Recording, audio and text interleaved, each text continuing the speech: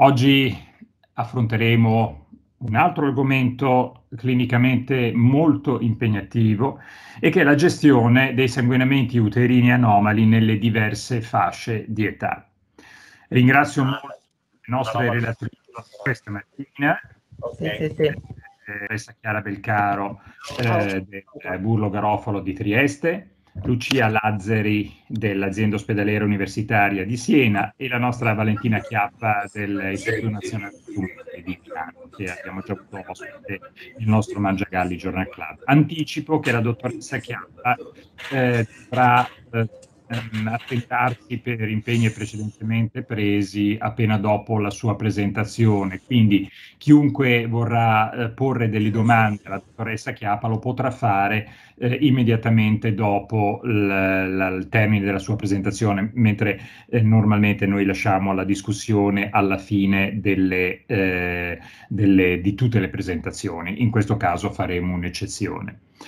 Ho quindi il piacere di dare la parola alla dottoressa Belcaro che inizierà con eh, la sua presentazione. Buongiorno. Buongiorno. Grazie per aver accettato l'invito. Prego.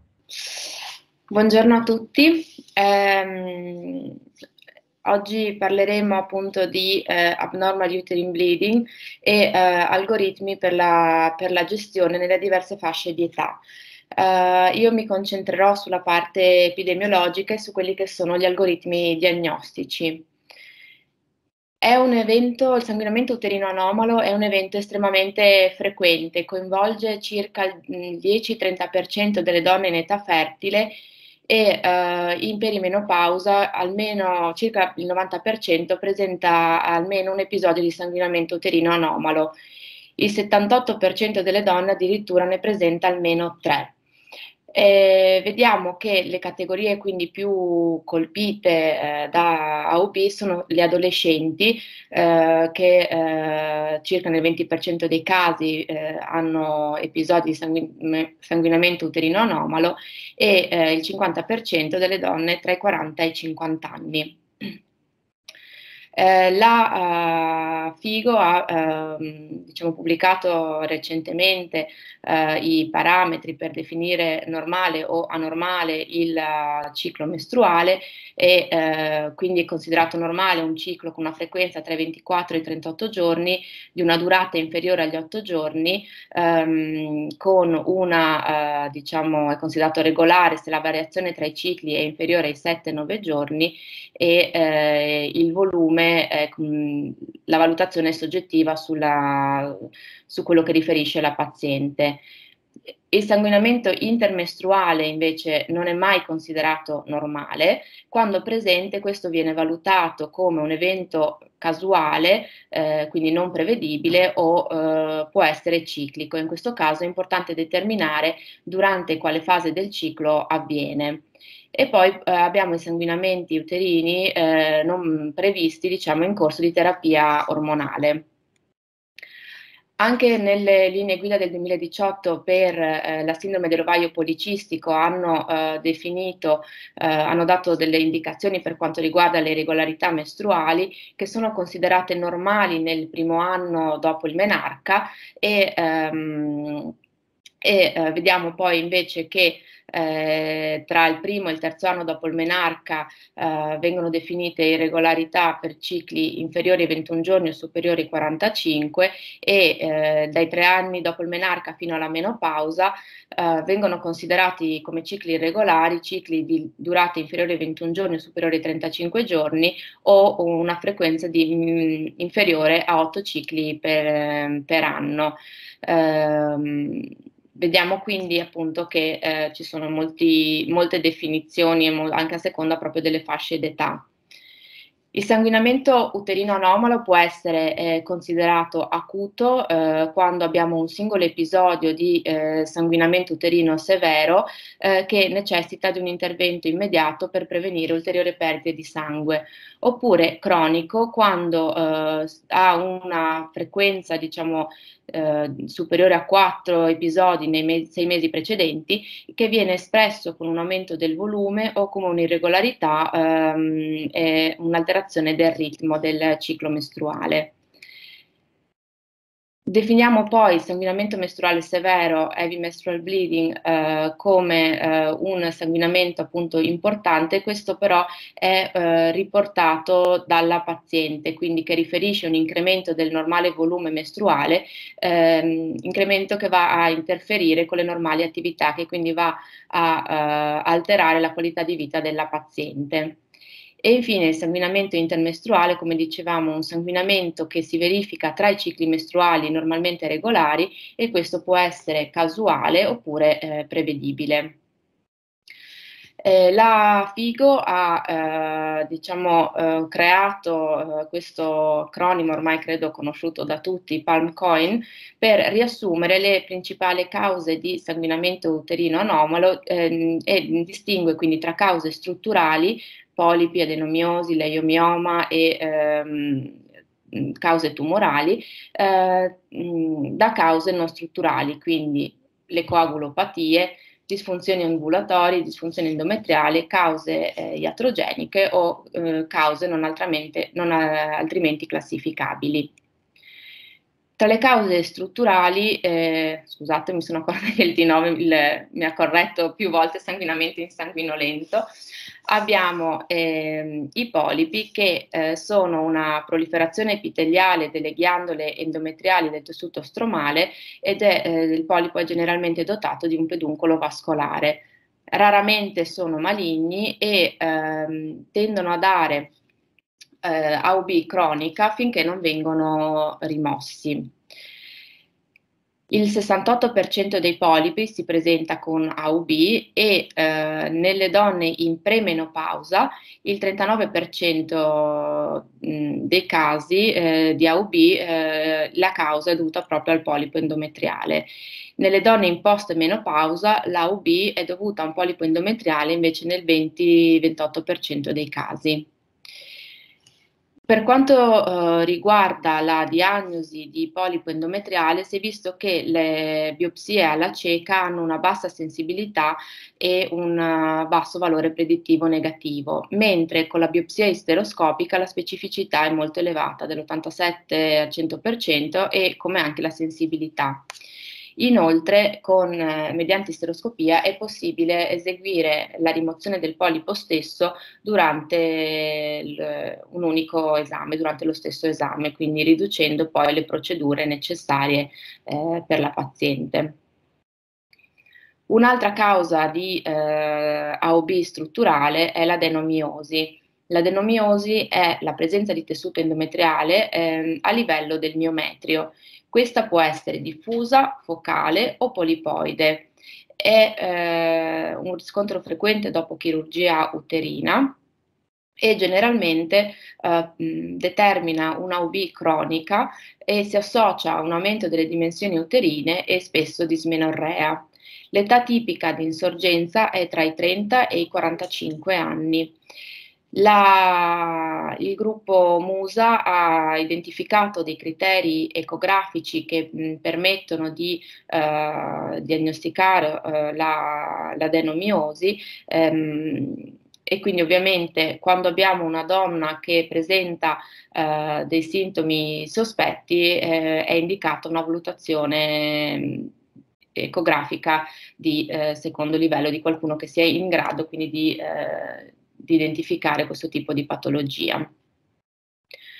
Un'altra causa molto frequente di AUB sono i, i fibromi, le iomiomi, tumori fibromuscolari benigni del miometrio che nella maggior parte dei casi sono asintomatici, ma possono dare segno di sé o per le grandi dimensioni eh, e quindi quando causano eh, dolore pelvico o mh, compressione delle strutture adiacenti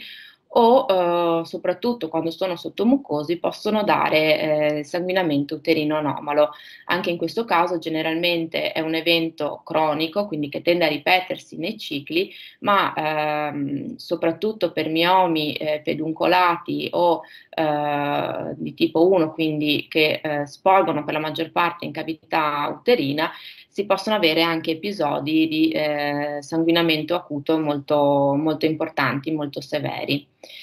La classificazione dei miomi da parte della FIGO riconosce otto classi di, eh, di miomi e, base al, che si, si, differenziano in base al rapporto con la mucosa e alla, mh, al miometrio e alla sierosa. Vediamo che le prime tre classi 0, 1, 2 sono i, fibromi sottomucosi e poi vengono classificati come other, quindi tutti i, i fibromi intramurali o sottosierosi.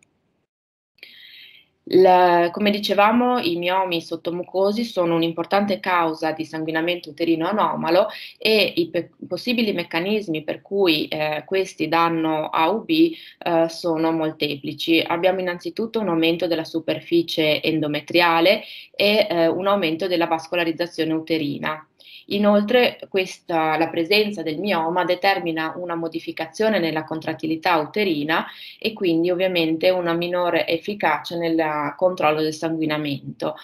Um, si ha poi uh, una esposizione, un'ulcerazione della superficie sottomucosa del mioma e uh, si può avere una degenerazione del nodulo miomatoso. Inoltre uh, si pensa ci sia una compressione del plesso venoso da parte del nodo di bio, del mioma che causa quindi un'ectasia venosa uterina e questo anche può aumentare il sanguinamento.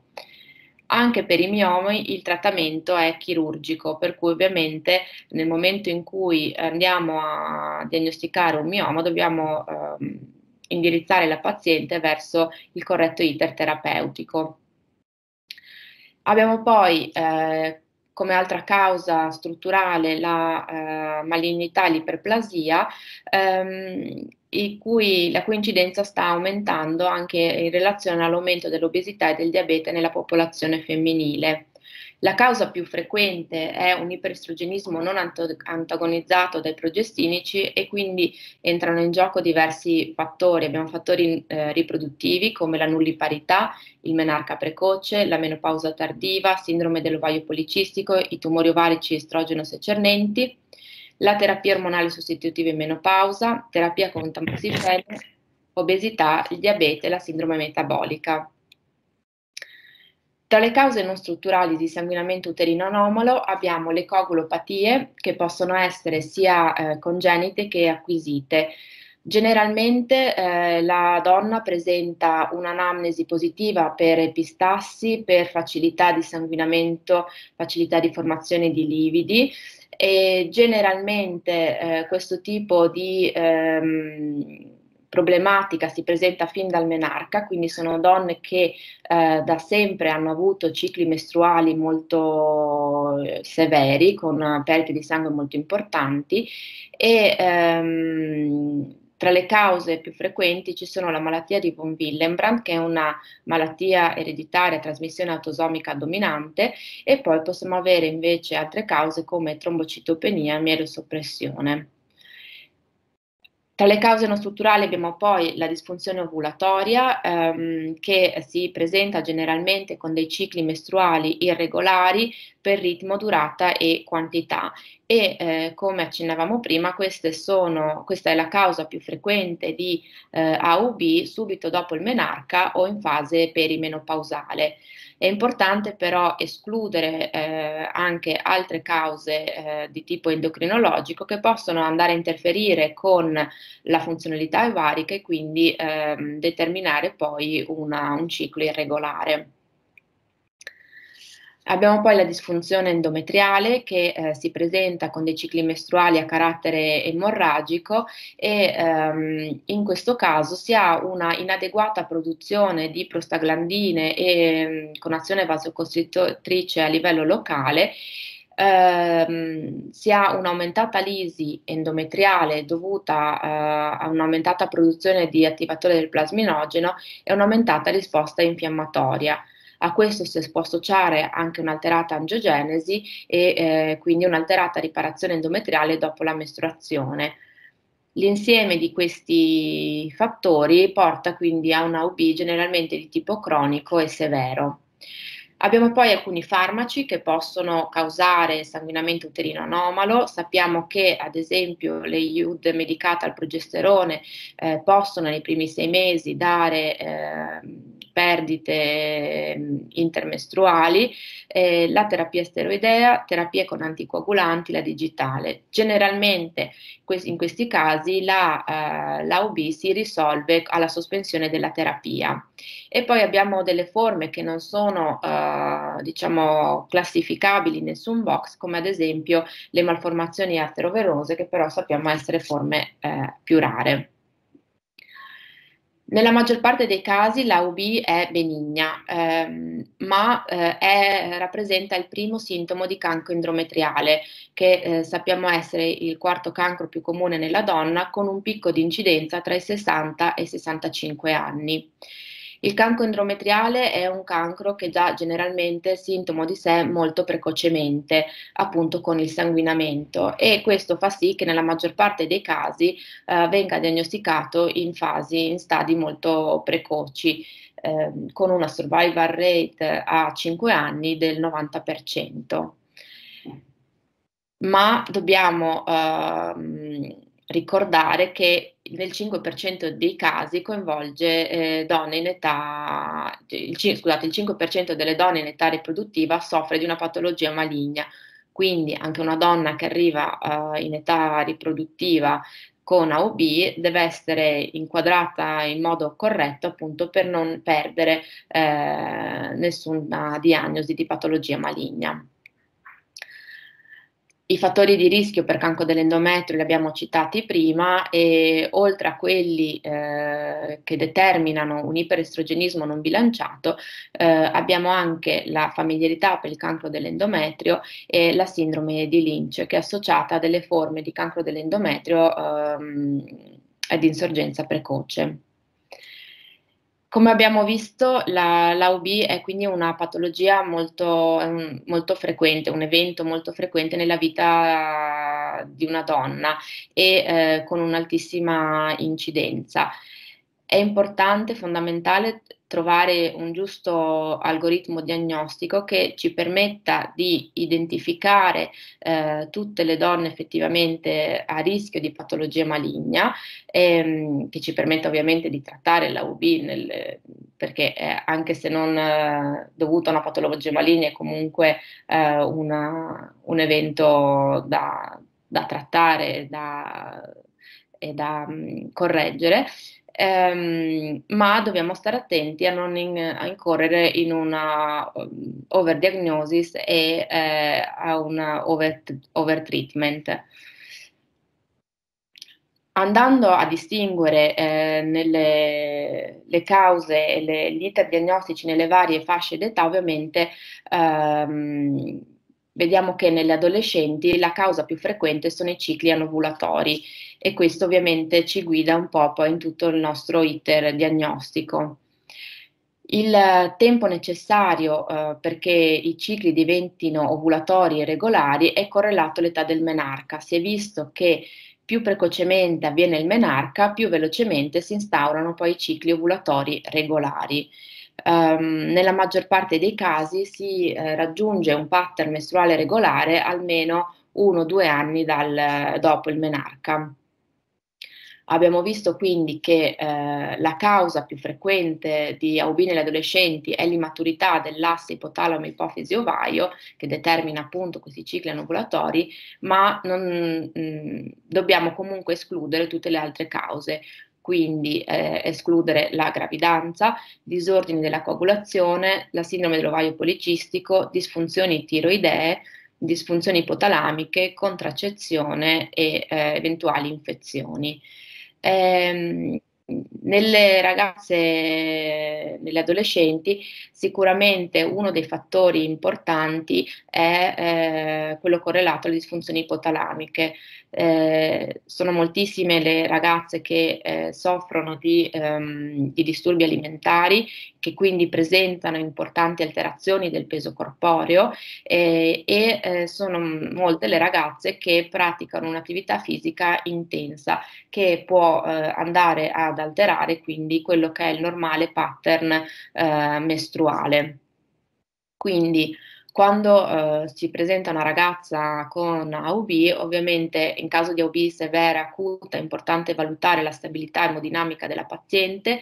eseguire un test di gravidanza se la ragazza è sessualmente attiva e quindi si procede con l'anamnesi familiare, anamnesi patologica, si raccoglie quella che è la sua storia mestruale e eh, come dicevamo all'inizio il sanguinamento uterino severo è ehm, non è oggettivabile da parte del medico, ma eh, viene riportato dalla paziente come un sanguinamento che va a interferire con le sue normali attività e eh, va a influenzare la sua qualità di vita. E va poi eh, ovviamente richiesto alla paziente se eh, si attiva sessualmente. È stata creata questa Pictorial Blood Loss Assessment Chart eh, per eh, cercare di eh, quantificare eh, l'entità delle perdite ematiche durante il, ehm, eh, il ciclo, durante la mestruazione, ehm, in cui la paziente quindi eh, segna il numero di assorbenti o di tamponi utilizzati, il numero di coaguli eh, durante, che vede passare durante la giornata e viene assegnato un punteggio. Si è visto che però in realtà questo tipo di... Ehm, eh, di tabella di, di scheda eh, non è facilmente utilizzabile e quindi eh, di fatto poi nella maggior parte dei casi viene semplicemente utilizzata la, il dato anamnestico della paziente. Eh, viene quindi fatto un esame obiettivo, una valutazione ginecologica, eh, esame obiettivo generale, vengono valutati i genitali esterni, viene valutato lo sviluppo puberale, si ricercano altre fonti di sanguinamento. L'esame pelvico viene è da evitare in pazienti Virgo, eh, salvo in casi selezionati. In caso di sanguinamento uterino severo, inarrestabile o in caso di un sanguinamento anomalo che persiste di cui non si riesce a capire la causa. Um, nel nostro istituto, quando uh, uh, bisogna fare un, si ritiene opportuno eseguire un esame pelvico in una paziente Virgo, generalmente viene fatto in sedazione e come primo approccio utilizziamo la vaginoscopia, quindi per eh, cercare di essere il meno invasivi possibili. Uh, per quanto riguarda poi l'ecografia, questo viene, è utile soprattutto nelle ragazze con dismenorrea per verificare che non ci siano uh, problemi eh, legati all'outlet cervicale o vaginale e poi può permettere di diagnosticare fibromi, masse ovariche, PCOS.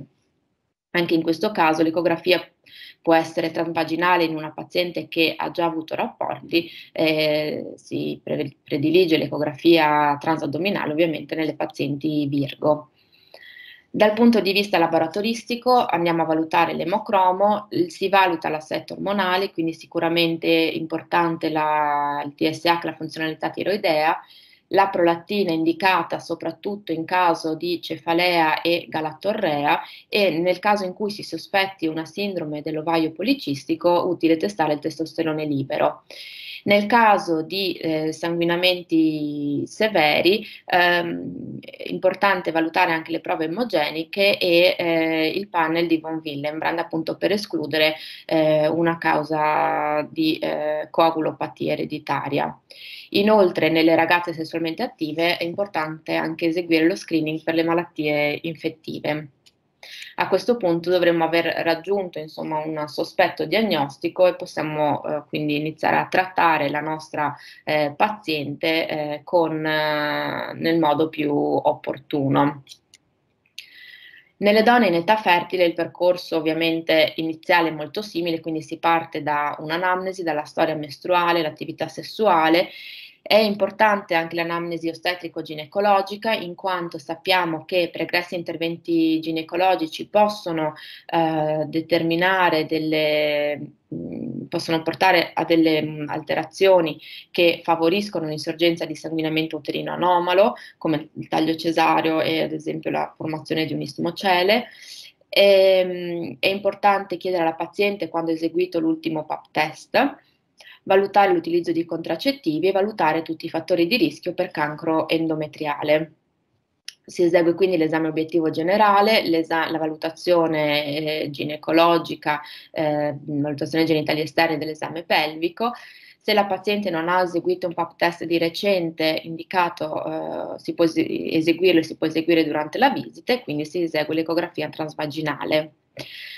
a livello eh, laboratoristico eh, valutiamo sempre l'emocromo, il TSH, eh, prolattina eh, sempre in caso di cefalea e galattorrea, eh, se la donna è sessualmente attiva si fa uno screening per le malattie in, um, infettive e poi test di gravidanza. In, nelle donne in età fertile eh, il, um, il eh, sospetto di un disordine dell'emostasi eh, deve, essere posto quando eh, ha eh, cicli mestruali severi, soprattutto se, se, fin dal menarca, eh, si associa a uno dei seguenti criteri, quindi emorragia postparto, eh, sanguinamento durante chirurgia o eh, durante ehm, operazioni, interventi di tipo odontoiatrico eh, e se sono presenti due o più dei seguenti sintomi, quindi ehm, facilità a mh, formazione di lividi una o due volte al mese, epistassi, eh, frequente sanguinamento gengivale o una storia familiare positiva per sintomi di sanguinamento. In questo caso è sicuramente indicato eseguire le prove emogeniche e eh, il, la valutazione per la malattia di von Willebrand. Eh, nella nel, nella valutazione della FIGO del 2018, quindi vediamo che in caso di eh, AUB eh, cronica, eh, definita come un ehm, aumento della durata, del volume, della frequenza per più di tre mesi, ehm, le, dopo l'anamnesi, quindi valutato il rischio di eh, disfunzione ovulatoria e malattie o altre condizioni mediche associate, eh, si esegue l'esame, l'esame obiettivo e ehm, eventualmente, come dicevamo, le indagini di laboratorio. Per quanto riguarda la valutazione uterina, ehm, questa eh, può essere fatta in diversi modi a seconda di quello che è il nostro sospetto clinico. Se abbiamo un forte sospetto di eh, iperplasia o neoplasia, ehm, è indicata la biopsia endometriale che uh, nel, in, molti, in, in, molte linee guida in realtà uh, viene indicata come una biopsia endometriale alla cieca. Uh, se il campione è adeguato e abbiamo una diagnosi di iperplasia o di carcinoma, ovviamente la paziente verrà inviata a trattamento specialistico. Se invece il, il um, l'esame istologico è negativo, ehm, andremo a valutare la, a, la, paziente, a trattare la paziente come una AUB da disfunzione ovulatoria o endometriale. Nel caso in cui la biopsia non, sia, non risulti adeguata, il campione non risulti adeguato, si può inviare la paziente a valutazione isteroscopica. Nel caso in cui invece il rischio eh, presu- eh, immaginiamo che eh, la paziente sia elevato rischio di anomalia strutturale, eh, viene inviata a eh, ecografia. Questo tipo di ehm, algoritmo ovviamente è ehm, un algoritmo che secondo me si discosta abbastanza da quella che è la realtà italiana, nel senso che eh, in Italia credo che in quasi ogni centro ci sia un eh, facile accesso all'ecografia che viene fatta eh, quasi di routine durante la visita ambulatoriale. Eh, in America, ad esempio, non è così e di conseguenza ovviamente hanno dei, dei canali eh, diversi, dei, degli algoritmi diagnostici diversi da quelli che possiamo avere noi. Eh, se la cavità endometriale risulta normale, ehm, all'ecografia, la paziente viene indirizzata, quindi eh, viene diciamo, non indirizzata, scusate, viene identificata come una normal uterine bleeding da causa endometriale o ovulatoria e quindi eh, verrà eventualmente valutata per trattamento medico. Se invece eh, la cavità endometriale risulta alterata, possiamo inviare la paziente a isteroscopia con eventuale biopsia o ehm, può essere fatta una valutazione ecografica più approfondita mediante sonoisterografia. A questo punto possiamo eh, avere una lesione target e eh, che quindi verrà eh, trattata eventualmente anche mediante isteroscopia. Um, se non riscontriamo nessuna lesione, quindi eh, si ehm, eh, la paziente verrà nuovo, eh, verrà nuovamente identificata come AUB da causa endometriale ormonale e come ultimo step, se anche con isteroscopia e biopsia o sonoisterografia non riusciamo a identificare nulla, eh, in casi selezionati si può considerare l'esecuzione della risonanza magnetica. Nelle donne con fattori di rischio per cancro endometriale, quindi vediamo che comunque il gold standard è la biopsia endometriale. La biopsia può essere eseguita, come dicevamo, alla cieca o può essere eseguita mediante isteroscopia. La scelta delle due procedure è sicuramente legata a quelle che sono le disponibilità anche del centro dove viene seguita la paziente e eh, poi vedremo un po' più in dettaglio la differenza fra queste due procedure. Andando a, dare, andando a, guardare quelle che sono le linee guida internazionali, vediamo che ACOG, eh, appunto dopo la, dà come indicazione in caso di sanguinamento uterino anomala in donne in età riproduttiva, eh, come abbiamo detto, l'anamnesi, eh, l'esame obiettivo gineco- generale ginecologico, i test di laboratorio e ehm, come imaging eh, riconosce l'ecografia transvaginale, che l'ecografia transvaginale per patologia intracavitaria ha una sensibilità del 56% e una specificità, scusate, del 73%. Con l'ecografia eh, transvaginale è possibile valutare anche lo spessore endometriale, fibromi e ovaie. Lo spessore endometriale però in realtà nelle donne in età fertile non viene utilizzato come eh, una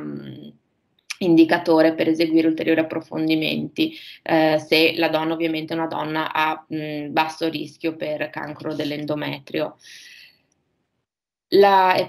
anche nel, nell'ACOG riportano la sonoisterografia mh, come un esame che ci permette di avere una migliore accuratezza diagnostica per patologie intracavitarie e soprattutto può uh, distinguere tra lesioni focali e spessamenti diffusi dell'endometrio. La risonanza magnetica, come dicevamo, è un esame di secondo livello da esi- eseguire in casi selezionati. L'ACO che essenzialmente riporta lo schema, eh, lo schema della, della, FIGO e ehm, aggiunge però eh, che eh,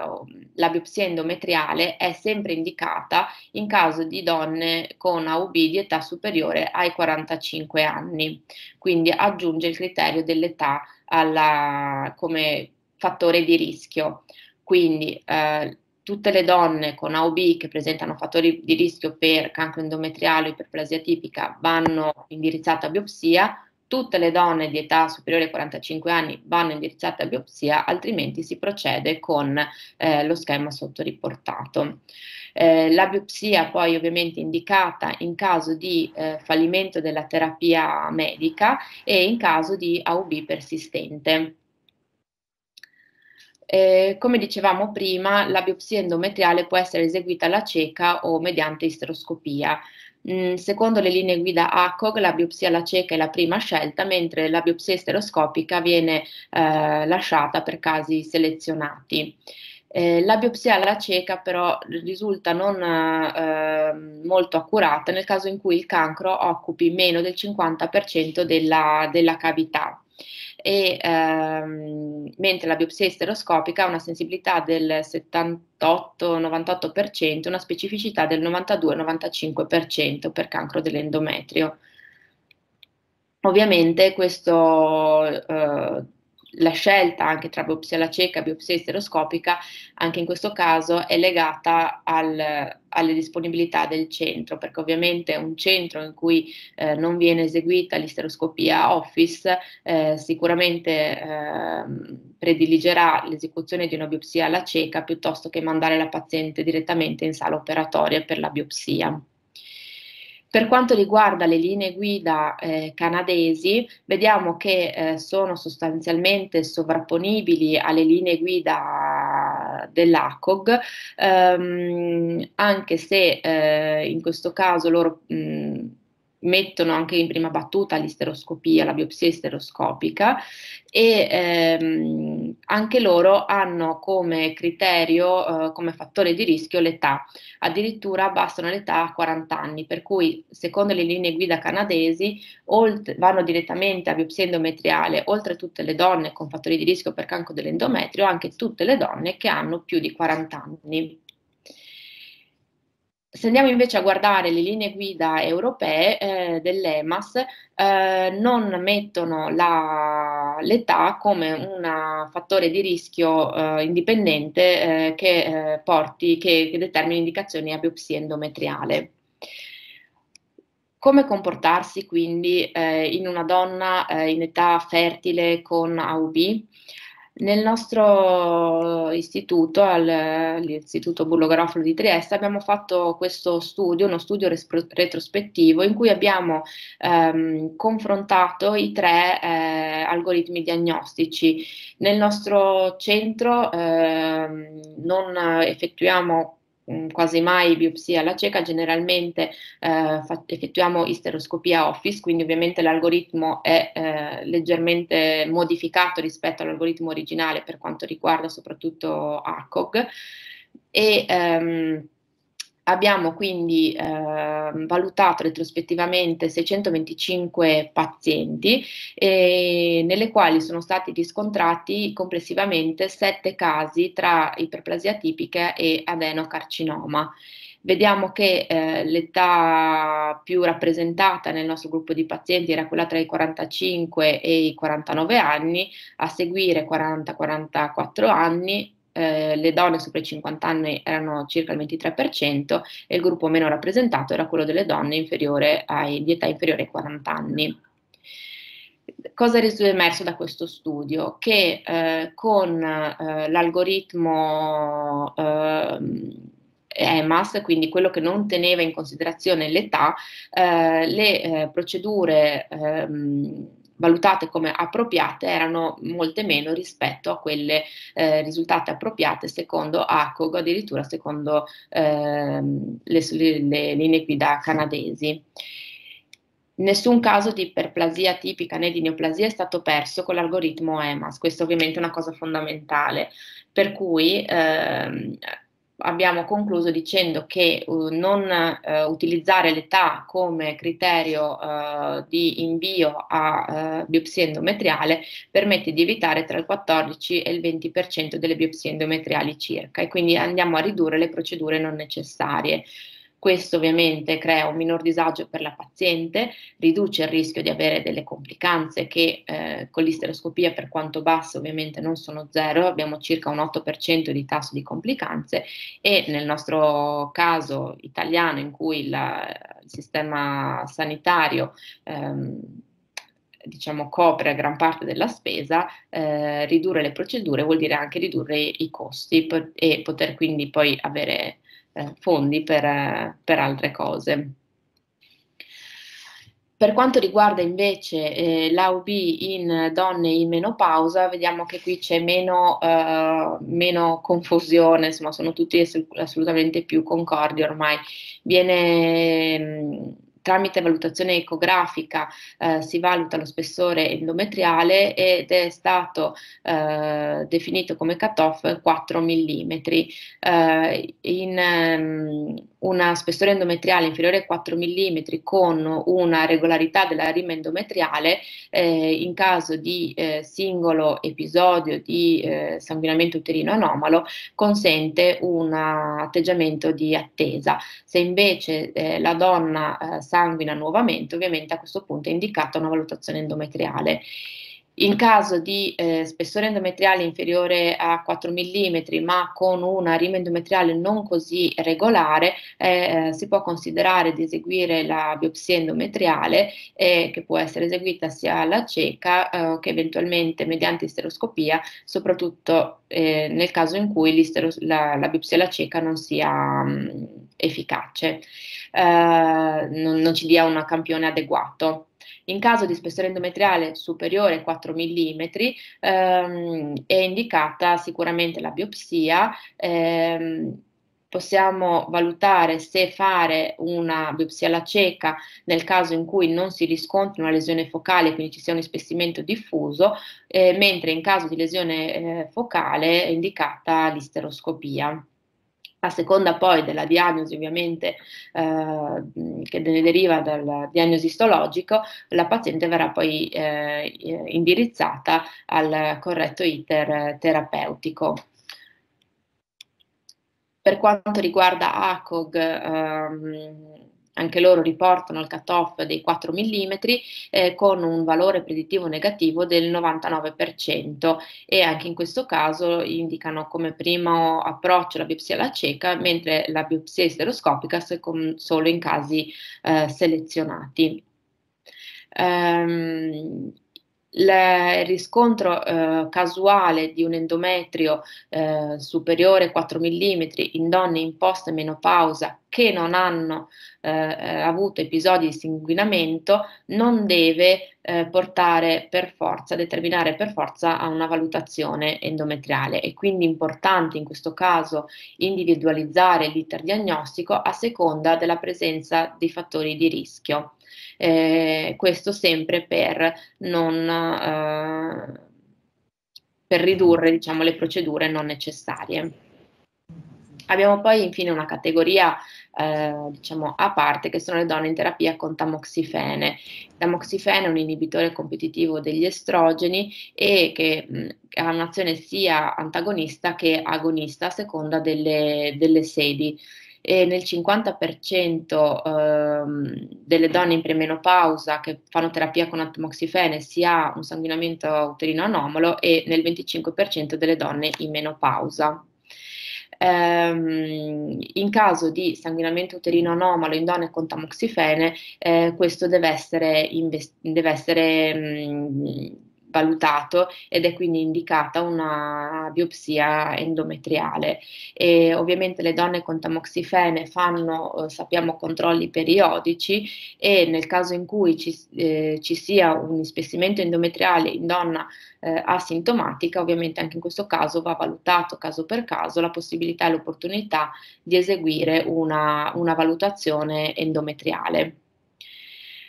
Quindi, eh, concludendo, di fronte a una paziente con sanguinamento uterino anomalo è eh, fondamentale eh, innanzitutto raccogliere un'accurata anamnesi per eh, poter indirizzare il nostro iter diagnostico e eh, che va eh, poi differenziato a seconda dell'età della paziente, dei fattori di rischio presenti, dell'eventuale risposta a trattamenti medici e ehm,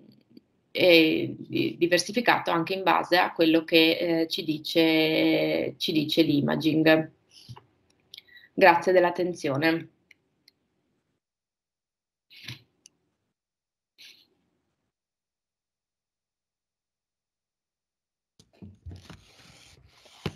Molte grazie Chiara, eh, anch'io ho delle domande per te che mi riservo di fare alla fine del nostro incontro.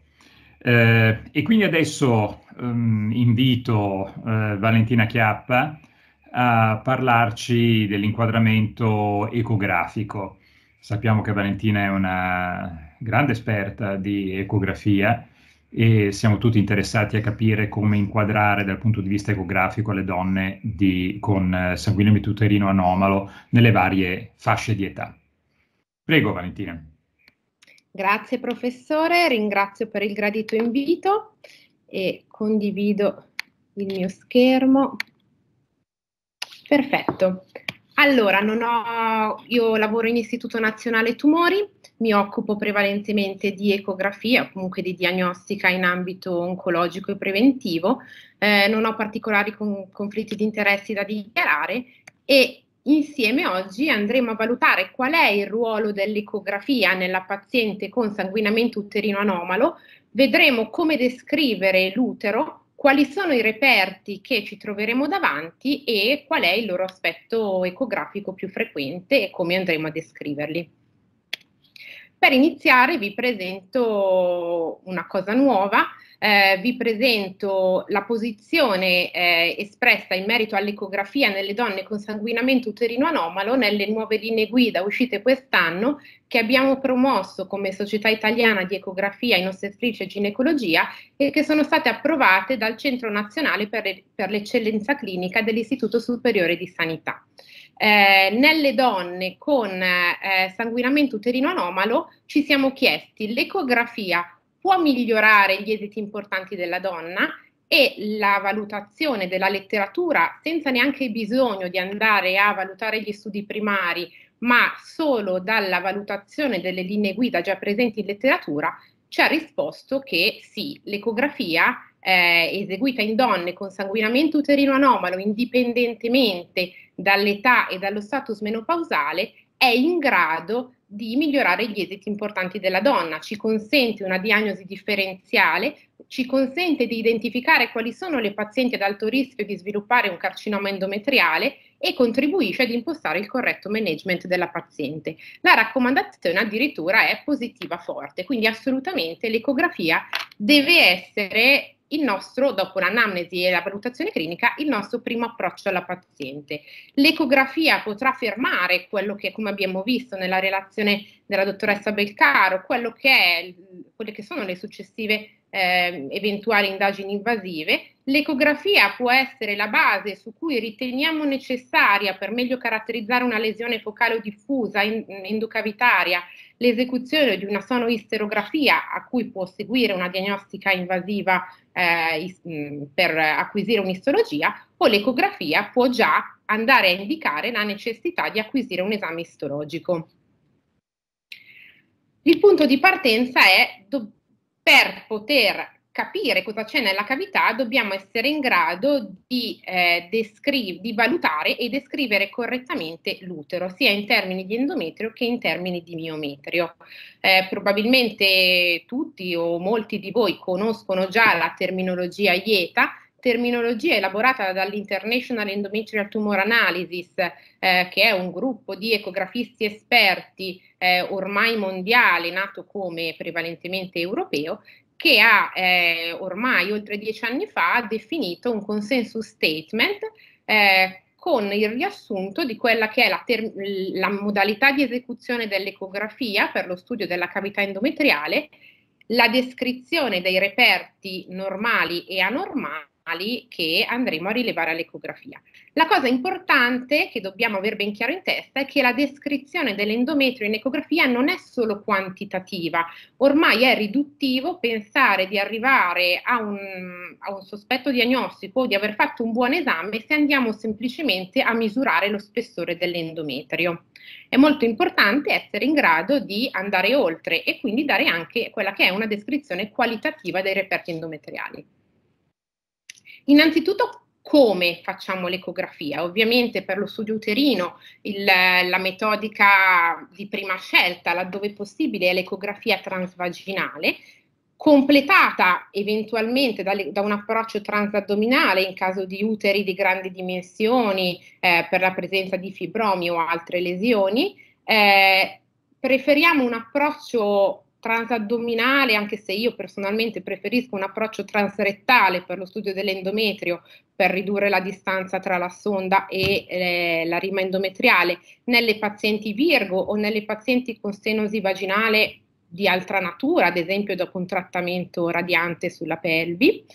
Quando eseguiamo l'ecografia in, in postmenopausa in pazienti che non fanno terapia ormonale sostitutiva, potremmo fare in qualunque momento ovviamente la valutazione ecografica, nelle donne in età fertile preferiamo la fase proliferativa precoce, quindi tra il quarto e sesto giorno del ciclo, nelle donne in postmenopausa in terapia ormonale sostitutiva sequenziale ciclica andremo a preferire 10 giorni dopo l'ultima compressa di progestinico. Come eseguiamo l'ecografia? Cerchiamo di ottenere per quanto possibile un angolo di insonazione tra la sonda e il, l'asse maggiore del viscero uterino che si avvicina quanto più ai 90 gradi, andremo a identificare la vescica e la cervice che ci consentiranno di definire la versione dell'utero, prenderemo le misure del viscero uterino eh, nei tre diametri, quindi longitudinale, antero-posteriore e laterolaterale e andremo a effettuare una scansione completa dell'utero in sezione longitudinale da un corno uterino al controlaterale Ruoteremo poi la sonda di 90 gradi e in sezione laterolaterale andremo a scorrere l'utero dalla cervice al fondo, in modo da avere una valutazione di, quella, di tutta quella che è la cavità endometriale. Eh, ricordiamoci che entrare, vedere bene l'endometrio senza fare questa scansione completa può consentirci di perdere delle lesioni, dei piccoli fibromi o dei polipi a livello degli angoli tubarici se non andiamo a scansionare tutta la cavità possono andare persi. Ancora, vediamo, in questo modo andando a effettuare una scansione, come vedete identifichiamo la cervice, possiamo andare a studiare anche il canale cervicale, in questo caso c'è un po' di presenza di muco che ci consente di valutare bene anche il canale e poi andremo a valutare da un corno uterino all'altro la, tutta la cavità endometriale ruotiamo di 90 gradi, facciamo lo stesso in sezione laterolaterale. Questa è poi la sezione dove andremo a misurare lo spessore endometriale.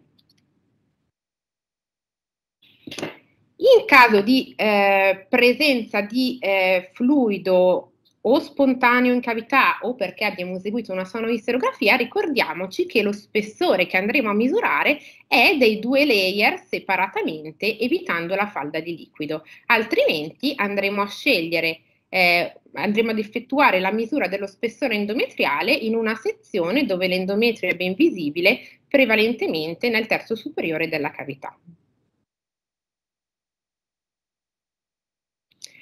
Abbiamo misurato il nostro endometrio e adesso è il momento, come dicevamo, di spingerci un pochino oltre e quindi di effettuare quella che è una valutazione qualitativa dei nostri reperti endometriali.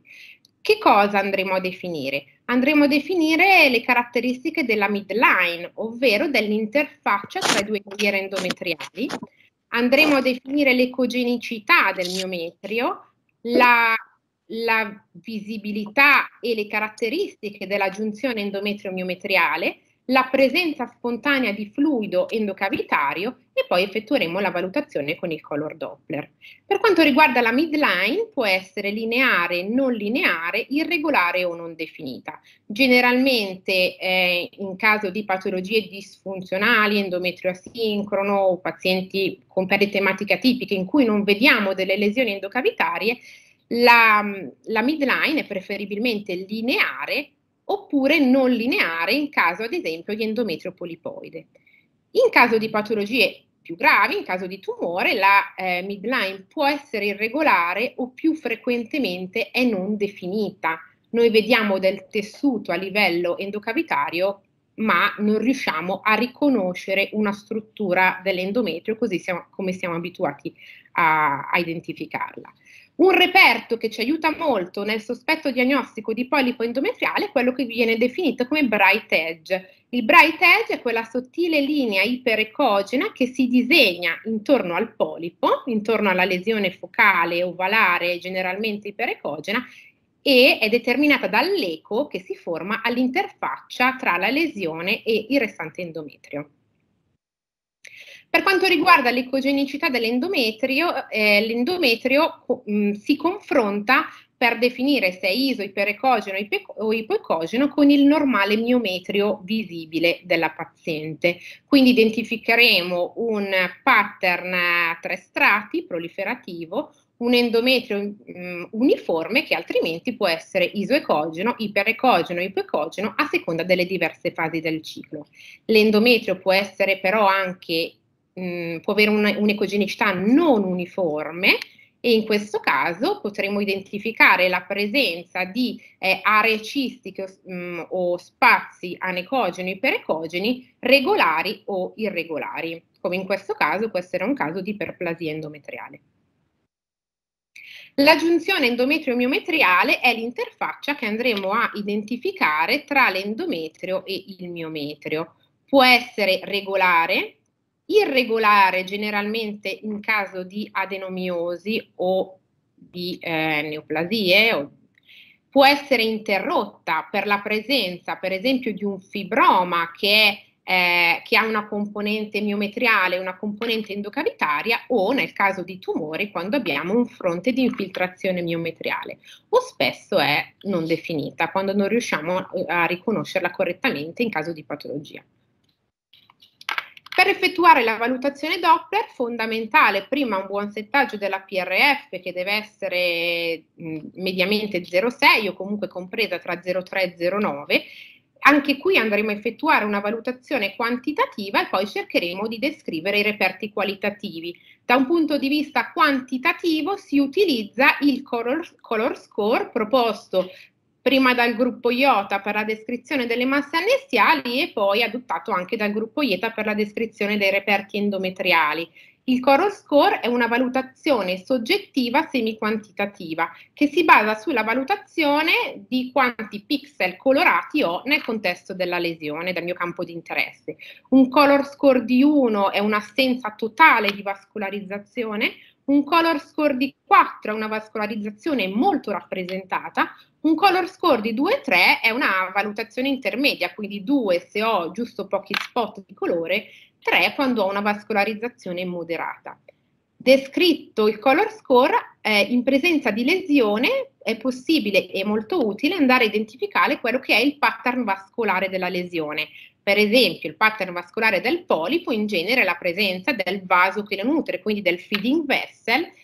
e andremo a descrivere, se vediamo il feeding vessel, perché questo aiuta noi e chi leggerà l'ecografia dopo di noi a interpretare quello che è un po' il nostro sospetto diagnostico. È importante andare a includere nel nostro box colore l'endometrio e l'eventuale lesione che stiamo valutando, ma anche il miometrio circostante perché andremo a vedere l'eventuale presenza di vasi eh, tipici o atipici a cavallo fra il miometrio e l'endometrio. Questo mh, mm, quello che vi ho già detto sul cos'è il color score e cosa significano i quattro gradi di colore. Per quanto riguarda i pattern vascolari, abbiamo il pattern con un singolo vaso dominante con o senza branching, quindi con o senza ramificazioni, in genere tipici del polipo semplice, del polipo un po' più grande o del polipo cancerizzato, la presenza di scattered vessel, quindi mh, mm, vasi sparsi nel contesto dell'endometrio che possiamo ritrovare eh, sia in patologie benigne che maligne, multipli vasi di origine multifocale invece che suggeriscono un qualcosa di più rispetto a un endometrio normale, quindi spesso li ritroviamo nelle patologie maligne o premaligne. Il ring sign è la vascolarizzazione circolare della capsula di un fibroma con componente sottomucosa endocavitaria. Effettuata la valutazione di base ecografica con scala di grigi, possiamo avere la necessità di meglio caratterizzare eventuali lesioni o reperti endocavitari che non ci convincono. Andremo quindi a effettuare una sonoisterografia. La sonoisterografia, se l'operatore ovviamente è, è in grado, può essere eseguita subito in coda all'ecografia, si inserisce all'interno della cavità un cateterino endocavitario e andremo ad instillare della soluzione fisiologica che funge da mezzo di contrasto e ci consente di andare a caratterizzare meglio quello che vediamo. Qui nella prima immagine vediamo il cateterino posizionato e eh, nella seconda immagine andremo a vedere, vediamo come si disegna il, un, un polipo endometriale e andremo a descrivere sia la lesione sia l'endometrio circostante.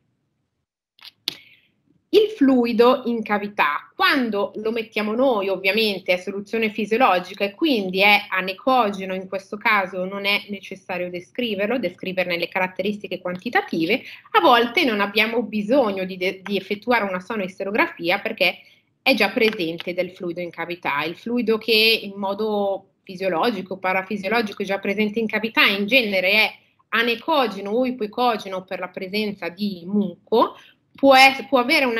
un'ecogenicità di tipo ground glass in caso di ematometra o un'ecogenicità mista, low level, con eh, delle aree un pochino più dense iperecogene in caso di piometra. Non è necessario eh, quando facciamo noi la sonoristerografia, andare a misurare quanto fluido ehm, abbiamo messo in cavità, quindi andremo a misurare solo i layer endometriali che si disegnano, non il fluido. Quando è presente un fluido eh, spontaneamente, soprattutto se non un fluido anecogeno, può essere utile andare a, a valutare quanto fluido c'è eh, anche per avere un'idea della potenziale perdita ematica della paziente se andremo a effettuare delle manovre invasive in caso di ematometra. Cosa ci consente di fare la presenza di fluido? Non ci consente solo di andare a misurare i layer endometriali che prima vedevamo meno bene come ehm, distinti l'uno dall'altro, ma ci consente anche di apprezzare la qualità di questi layer endometriali che potranno essere lisci, potranno avere un aspetto a tasche endometriali o polipoide in caso di endometri disfunzionali o iperplastici, potranno avere un'ecogenicità più irregolare in caso sempre di iperplasia o già di neoplasia. In caso di presenza di lesione endocavitaria, anche qui possiamo non solo limitarci a dire ma forse c'è un polipo di un centimetro, possiamo andare oltre e possiamo spingerci a definire da dove, da dove origina la lesione, una, una lesione endocavitaria o una lesione probabilmente a origine miometriale con una componente endocavitaria. È una lesione diffusa o localizzata, laddove localizzata è una lesione che mi coinvolge meno del 25% della cavità, diffusa più del 25%. Ed è una lesione sessile, quindi a larga base di impianto, o peduncolata. Andiamo a vedere più nello specifico quali sono gli aspetti ecografici dei reperti endometriali che possiamo avere. Della classificazione di cui ci ha parlato prima Chiara, ovviamente ci con concentreremo sulle entità strutturali, quelle quindi che possono essere misurate o valutate con tecniche di imaging. Partiamo da qui, da un lavoro estremamente recente del gruppo IETA, che ha valutato i reperti endometriali, le caratteristiche ecografiche tipiche delle lesioni endometriali in donne con eh, AUB. Hanno valutato ecograficamente 2.856 donne, di cui eh, 1.857 hanno ricevuto anche una sonoisterografia e hanno avuto oltre eh, e in oltre 2.200 pazienti è stato effettuato anche un prelievo peristologico. Due terzi delle pazienti erano in postmenopausa, un terzo in premenopausa e eh, un quarto delle pazienti eh, stava assumendo una terapia ormonale, indipendentemente se in età fertile o sostitutiva. Come vediamo, eh, un terzo delle pazienti non aveva una lesione eh, focale o comunque eh, patologica della cavità, eh, avevano atrofia endometriale o un endometrio disfunzionale.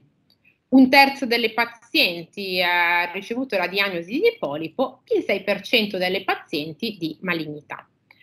Quali sono stati i reperti ecografici considerati rassicuranti? Eh, un endometrio sottile, indipendentemente dall'età della paziente, come ci ha detto Chiara, sotto i 4 mm in postmenopausa, essenzialmente siamo tranquilli e mh, mm, qui hanno identificato i 3 mm come cut-off di serenità. Per quanto riguarda gli aspetti qualitativi, mm, quindi abbiamo visto il quantitativo 3 mm, qualitativi quando an- descrivevamo un pattern endometriale trilayer, quindi uniforme eh, di aspetto proliferativo, potevamo essere mh, tranquilli. Quando la midline endometriale era visibile e lineare, anche. Per quanto riguarda la vascolarizzazione era rassicurante la presenza di un vaso singolo senza eh, ramificazioni perché al massimo la paziente aveva un polipo benigno. Nessuna delle pazienti dove sono stati descritti questi reperti aveva un'iperplasia tipica, un tumore. Per quanto riguarda le altre lesioni, che caratteristiche avevano? Mm, le donne con atrofia endometriale avevano uno spessore endometriale tra i 3 e i 7 mm, due terzi delle pazienti aveva un endometrio descritto come uniforme iperecogeno o non uniforme ma senza cisti La midline era indefinita non per la presenza di lesioni, ma perché è troppo sottile l'endometrio per poter andare a identificare la midline. L'endomyometrial junction era generalmente visibile e regolare e nella stragrande maggioranza dei casi non c'era vascolarizzazione. In caso di endometrio disfunzionale, proliferativo secretivo, lo spessore tra i 6 e i 13 mm, due terzi delle pazienti avevano un endometrio descritto come uniforme iperecogeno o non uniforme senza cisti, la midline eh, in un terzo delle pazienti era visibile lineare, questo abbiamo visto essere un elemento rassicurante, l'endomyometrial junction era visibile in metà delle pazienti regolare e in metà delle pazienti non c'era vascolarizzazione. Nelle pazienti con iperplasia semplice i reperti erano sostanzialmente sovrapponibili a quelli dell'endometrio disfunzionale se non per uno spessore mh, mediamente un po' mh, aumentato tra i 9 e i 17 mm la vascolarizzazione eh, molto spesso invece per quanto riguarda il pattern mostrava un'origine multipli vasi con origine multifocale. Nel caso di polipi l'endometrio era spesso tra gli 8 e i 14 mm, in questi casi eh, aiutava molto a riconoscere e, e, è stato riconosciuto nella metà dei casi il bright edge, quindi quella sottile linea iperecogena all'interfaccia tra la lesione e l'endometrio e anche qui il pattern vascolare aiutava molto perché in due terzi dei casi si vedeva il feeding vessel con o senza ramificazioni. Nel caso dei miomi l'endometrio complessivamente non mostrava particolari reperti, anzi era tendenzialmente abbastanza sottile, tra i 5 e i 13 mm. Qui la vascolarizzazione poteva essere aumentata anche qua 4 di color score, ma il pattern vascolare anche qui ci poteva orientare perché nella metà delle pazienti è stata riconosciuta la vascolarizzazione circolare dei miomi. In caso di iperplasia atipica e di tumore, l'endometrio era più spesso 8-18 mm nell'iperplasia tipica, 11-26 mm nel tumore e qui l'endometrio era prevalentemente non uniforme e la vascolarizzazione più rappresentata con multipli vasi a origine multifocale o vascolarizzazione scattered, quindi dispersa nella cavità, mm, spot vascolari dispersi nella cavità. Se consideriamo però quello che molto spesso viene fatto e quindi solo la valutazione quantitativa, vedete come molte classi delle patologie, anche molto diverse che abbiamo visto, tendono a sovrapporsi, quindi non è più tempo solo per misurare lo spessore. In caso di sonoisterografia, eh, come apparivano le lesioni? Polipi generalmente peduncolati, più raramente sessili, nel caso dei miomi, in genere hanno ritrovato miomi di piccole dimensioni, massimo 2 cm. Nei tumori, nel 50% dei casi, veniva identificata una lesione estesa, invece nell'altra metà mh, identificavano come un polipo cancerizzato. Abbiamo già visto che i polipi sono responsabili di un terzo delle perdite ematiche atipiche, come appaiono i polipi in ecografia. Vi faccio vedere alcune, alcuni esempi. Eh, questa è eh, un, una review del gruppo del professor Vercellini di alcuni anni fa, eh, hanno visto che la prevalenza dei polipi maligni eh, in ehm, nei 51 studi analizzati che valutavano oltre 35.000 pazienti era di 2,73%, quindi polipo e tumore sono due cose completamente diverse. Aumenta un pochino questa prevalenza nelle donne in post-menopausa, ma è estremamente importante quando andremo a gestire il polipo una buona anamnesi sintomatologica perché la situazione cambia molto tra la donna sintomatica con sanguinamento, come abbiamo visto, e la donna asintomatica e anche qui cambia molto mm, o comunque abbastanza tra la donna in età fertile e la donna in postmenopausa. Quando andiamo a descrivere un polipo dobbiamo descrivere tante cose. Dobbiamo descrivere intanto se è un polipo unico o se è tutto un endometrio polipoide, perché il sospetto diagnostico cambia. Se è un polipo sessile o peduncolato, che può essere di aiuto all'isteroscopista che poi eh, andrà a effettuare la procedura, andremo a, misurare i diametri del polipo, tre diametri, l'ecogenicità del polipo confrontata rispetto al restante endometrio, se vediamo il feeding vessel, se vediamo il bright edge e andremo poi a definire com'è il, il, il circostante endometrio.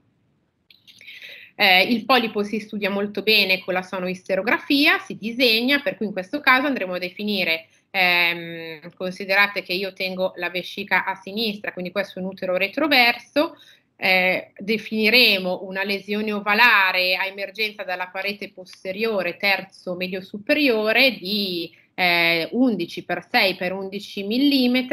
eh, peduncol- eh, peduncolata.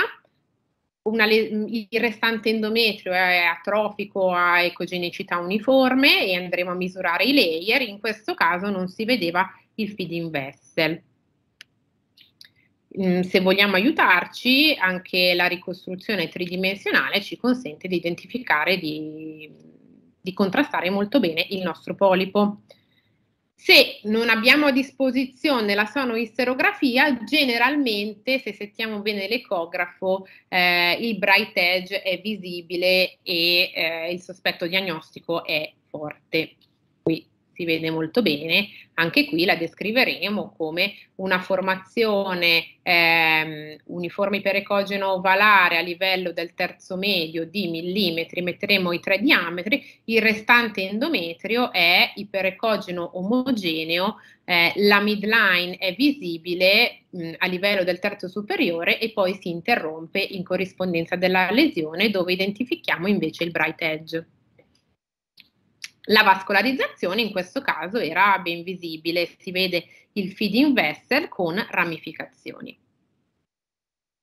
Ancora, anche in questo caso, come vedete, anche senza sonoisterografia, ehm, il polipo è molto ben visibile, così come il feeding vessel e la midline restante endometrio è eh, visualizzata, si interrompe in corrispondenza del polipo e vediamo il bright edge. Anche qui la ricostruzione 3D mh, mm, ci consente di vedere bene da dove emerge il polipo, senza fare la sonoisterografia in questo caso. Vediamo un altro caso con sonoisterografia, anche qua vedete un polipo peduncolato a emergenza che appare fundica. Il feeding vessel in questo caso eh, visibile, apparentemente sen- ehm, singolo senza ramificazioni e la ricostruzione tridimensionale del nostro polipo. Altri esempi in sonoisterografia.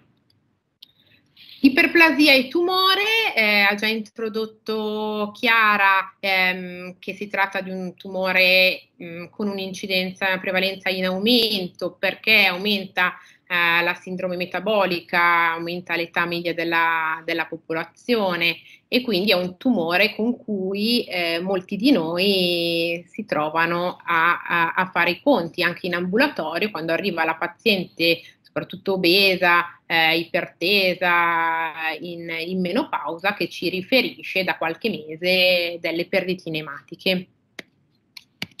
Cosa vediamo? Eh, iniziamo a vedere eh, qualche caso. Questo è un caso di iperplasia, come vediamo qui eh, la, la midline è visibile però in alcuni punti non, un pochino irregolare, l'endometrio è non uniforme, ci sono degli spazi cistici ehm, prevalentemente regolari. È un endometrio ispessito per una donna in premenopausa che, eh, per una donna scusate in postmenopausa che aveva anche eh, una idrosalpinge.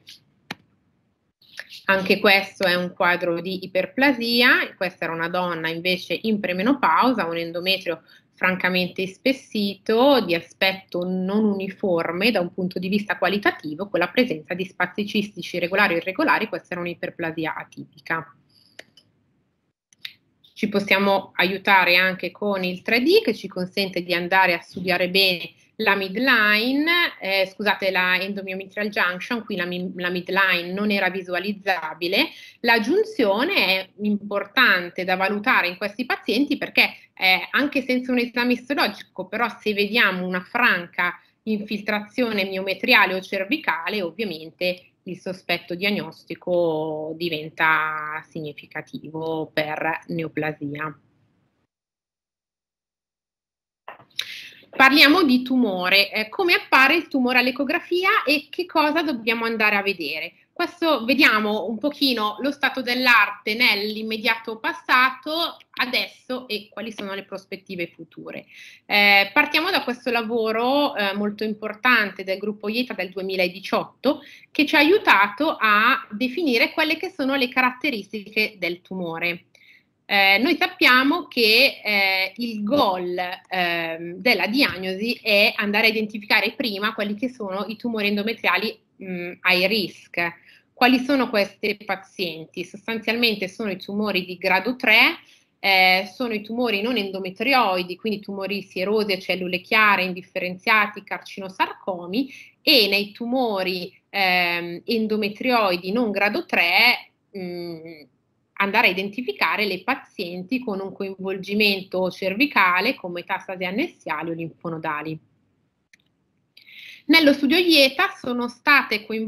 sono state studiate 1714 donne con tumore dell'endometrio. La stragrande maggioranza dei casi erano donne in post-menopausa, un'età media di 65 anni, come vedete eh, 30 come BMI, che può essere mh, 30 come BM, mediana del BMI, per cui molto spesso sono donne che è anche abbastanza difficile studiare bene ecograficamente, guardate come ritornano le nostre perdite ematiche atipiche, responsabili dell'84, cioè presenti nell'84% delle pazienti, quindi campanello d'allarme importantissimo. Cosa si è visto? Sono diversi i low risk dagli high risk? Sostanzialmente o molto spesso sì, come vediamo sono diversi sia da un punto di vista quantitativo che da un punto di vista qualitativo. Da un punto di vista quantitativo nei low risk, eh, quindi endometrioidi grado 1-2 confinati um, all'endometrio, l- lo spessore medio dell'endometrio era 13 mm contro i 28 degli high risk. Eh, questo è vero tranne che per i sierosi che invece sappiamo molto spesso insorgere su endometrio atrofico. La giunzione era visibile regolare in un terzo dei casi dei low risk, ma in pochissimi pazienti degli high risk. Eh, la, eh, l'ecogenicità era molto spesso non uniforme in entrambe le categorie, vascolarizzazione aumentata in entrambe le categorie. Che cosa dobbiamo, ehm, come possiamo identificare eh, gli alti rischi dai non? In questo caso, nel, nel, primo, nel primi clip, eh, abbiamo la valutazione in scala di Grigi col Doppler di un tumore low risk, come vediamo la, l'ecogenicità può essere definita come uniforme per ecogeno o non uniforme, ma mh, mm, con scarsissime cisti regolari. Il Doppler mostra eh, una vascolarizzazione che definirei eh, come color score dell'endometrio solo, eh, senza guardare tutti i vasi miometriali, due con alcuni vasi, mul- mm, con un pattern di vasi multipli a origini multifocale, però guardate la differenza con questo tumore che ha sicuramente un color score di 4, anche lui con vasi multipli a origine multifocale. L'endometrio è francamente più spesso, è un endometrio eterogeneo, in questi casi è molto importante andare a valutare anche la presenza della giunzione endomiometriale, l'infiltrazione del miometrio e dello stroma cervicale. Eh, infiltrazione miometriale in questo caso superiore qui a livello ismico e sovraismico superiore al 50%, in questo caso abbiamo anche un'infiltrazione della cervice. In questo caso invece a destra eh, non abbiamo infiltrazione della cervice, si vede molto bene che la neoplasia si ferma al di sopra dell'orifizio uterino interno, e anche l'infiltrazione miometriale, sebbene la giunzione endometrio-miometriale sia irregolare perché la vediamo frastagliata, eh, è inferiore al 50%. Ricordiamoci di andare a valutare sempre gli annessi delle nostre pazienti, scusate, in questo caso a destra c'era molto ben visibile un secondarismo varico, quindi una formazione multiloculare solida, contenuto ground glass con una componente solida eh, vascolarizzata color score 4 e se l'habitus della paziente lo permette, anche di andare a valutare la presenza di adenopatie lungo gli assi iliaci lomboortici. Ricordiamoci che noi spesso siamo il primo filtro che la paziente incontra e eh, già raccogliere la presenza di adenopatie ovviamente è un dato importante visto che poi la paziente dovrà programmare un'imaging di secondo livello e potrebbe volerci tempo, quindi tutto quello che riusciamo a vedere noi è eh, sicuramente utile. Che cosa, eh, in cosa possiamo incappare? Molto spesso l'utero può essere mh, mm, eh, in asse e quindi usiamo la mano libera per cercare di modificare la versione uterina, eh, se è possibile. Eh, possiamo anche provare a cambiare approccio transaddominale o transrettale per cercare di spingere l'utero e modificare la versione uterina. Possiamo sovra o sottostimare eh, l'infiltrazione miometriale, possiamo sovrastimarla in caso di tumori grandi, polipoidi che tendono a comprimere, a riempire la cavità comprimendo il miometrio, possiamo sottostimarlo nei casi come il MELF pattern, dove l'infiltrazione non è un fronte di infiltrazione unico, ma è un'infiltrazione a ghiandole separate fino alla sierosa. Cosa, a che punto siamo oggi? Oggi stiamo cercando di identificare, abbiamo pubblicato insieme al gruppo del Gemelli questo lavoro pochi mesi fa, eh, stiamo cercando di identificare gli alti e i bassi rischi utilizzando non più solo l'esperienza dell'operatore, ma la radiomica in modo da avere un approccio standardizzato. La radiomica è un software che va a leggere le caratteristiche del tessuto eh, in modo ehm, autonomo, senza che indipendente dall'esperienza appunto dell'operatore. Il futuro, quale sarà? Il futuro sarà identificare non più gli alti e bassi rischi in base alle caratteristiche istopatologiche, ma andare a identificare quattro classi di rischio ehm, attraverso l'identificazione di target molecolari che sappiamo avere un'importanza prognostica della paziente, quindi dovremo lavorare un po' per identificare non solo eh, endometrioidi o non endometrioidi, endometrioidi gradi 3, ma stratificare un pochino di più la nostra valutazione. Ora rapidamente vediamo quelle che sono le, le, caratteristiche ecografiche delle altre cause di sanguinamento uterino anomalo. Eh, la dottoressa Belcaro ci ha già parlato dell'adenomiosi di quelle che sono le caratteristiche ecografiche dell'adenomiosi definite dal consensus statement del gruppo Musa. Vediamole un pochino dal vivo. Come vediamo molto spesso le pareti uterine sono asimmetriche, una delle due pareti, in questo caso la posteriore, è predominante, ci sembra un po' un fibroma ma non riusciamo a identificare una capsula vera e propria, eh, ci sono delle aree cistiche nel contesto miometriale e anche degli spazi iperecogeni, vediamo la presenza di fan-shaped shadow, ovvero di coni d'ombra un po' a raggiera e una vascolarizzazione translesionale. Un altro caso, anche qui, pareti asimmetriche, presenza di aree cistiche e spazi perecogeni e fan-shaped shadows. Ancora, pareti asimmetriche, aree cistiche, spazi perecogeni, fan-shaped shadows e vascolarizzazione intralesionale senza che sia riconoscibile una capsula tipo fibroma. Per quanto riguarda i miomi, i miomi, come abbiamo visto, hanno un sistema classificativo ormai riconosciuto in tre step eh, all'ecografia. Un primo step, il mioma c'è o non c'è, se c'è è sottomucoso oppure no, e un un terzo step eh, che va a stratificare i miomi dal grado 0 al grado 8 a seconda, grado 0, 1, 2 della componente endocavitaria se presente e gli altri a scalare intramurale con componente sottosierosa, prevalentemente sottosieroso, peduncolato o mioma parassita, mioma cervicale. Vi faccio vedere come appare il mioma endocavitario sottomucoso, come vediamo qui abbiamo una cavità che a un certo punto si interrompe per questa lesione solida, ovalare, con eh, la presenza di shadows, ma più in alto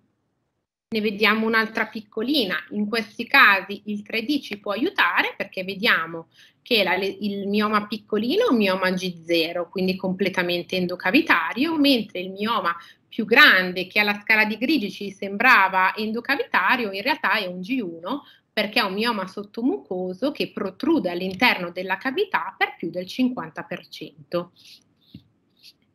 E con questo concludo. Vi ringrazio.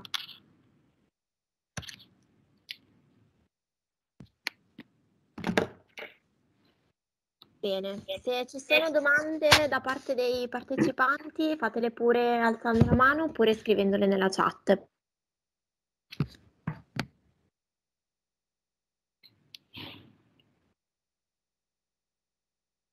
C'è una domanda. Uh, Federica, non hai fatto tu una domanda? Io leggo nella chat. Che significato... Sì, sì, sì. Sì, scusi prof, ti volevo aspettare prima se c'erano altre domande. Volevo chiedere che significato può avere la visualizzazione di una cavità endometriale dilatata, quindi con un film anecogeno, in una presenza di polipo endometriale in una donna in menopausa. Ok, quando abbiamo la presenza di fluido eh, in post-menopausa pensiamo che eh, in primis la paziente potrebbe avere uno stop dell'outlet, quindi potrebbe avere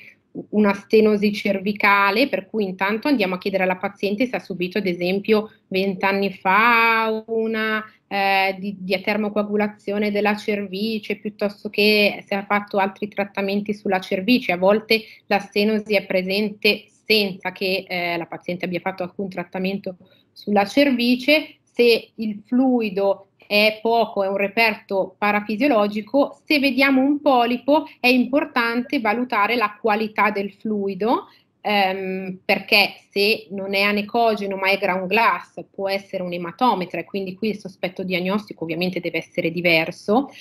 È importante istruire la paziente sul fatto che mh, il ragionamento che faccio io è vedo del fluido, quindi la paziente ha un ehm, probabilmente una stenosi cervicale, potrebbe venirmi a mancare in futuro quello che è il campanello d'allarme, per cui lei potrebbe sanguinare a livello endocavitario e io non accorgermene. Per cui in questi casi discuto con la paziente e si può decidere di togliere direttamente il polipo oppure di fare all'inizio dei controlli un pochino più ravvicinati, quindi magari anziché rivederla annualmente, anche se il polipo mi sembra tranquillo, la rivedo a sei mesi. È importante però intanto spiegare alla paziente quale deve essere il campanello d'allarme, ma in questi casi pensare che lei potrebbe non averlo. Grazie. Se non ci sono altre domande, Valentina, te ne faccio tre brevi anch'io, poi ti lascio andare che so che hai dei problemi. Allora, eh, in linea, diciamo, in linea generale, proprio in poche parole eh, per noi clinici, cioè tu che valore dai in tutto questo bellissimo inquadramento che tu hai fatto sull'impiego dell'ecografia? Che valore dai alla sonoistorografia? Perché fino a po- un po' di anni fa la sonoistorografia veniva vista come un breakthrough proprio nel, nella diagnostica ecografica delle donne con sanguinamento anomalo. Eh, è ancora così? Io non so, non ho l'impressione che sia ancora così.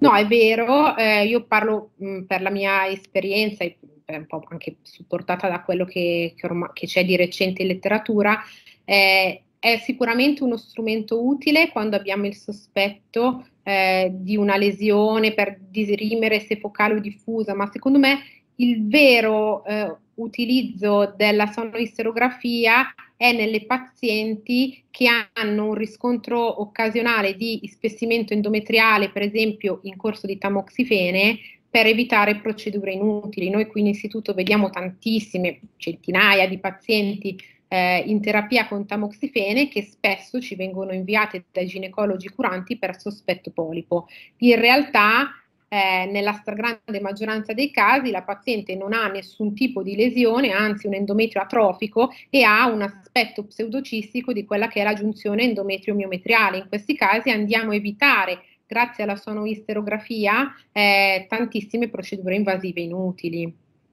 Quindi insomma tu in questo momento vedresti, cioè per un buon ecografista, eh, che quindi ha capacità di identificare nella gran parte dei casi lesioni focali endocavitarie, tu vedresti la sonoistorografia come una eh, me- metodica mirata specificamente a questa categoria di pazienti. Non, non come un, una, una, una eh, metodica da introdurre in modo sistematico nella valutazione del, del sanguinamento uterino anomalo. No, spesso tanti colleghi mi mandano la paziente per ecografia di secondo livello sono istorografia per sospetto polipo, ma poi io la sonoistorografia non la faccio perché spiego alla paziente che la lesione è ben visibile anche senza. Comunque eh, avere l'introduzione del cateterino in cavità, la dilatazione meccanica col fluido è una cosa sopportabilissima, però se non necessaria la evito alla paziente sinceramente. Eh, invece quando nell'ecografia ovviamente di buon livello con scala di grigi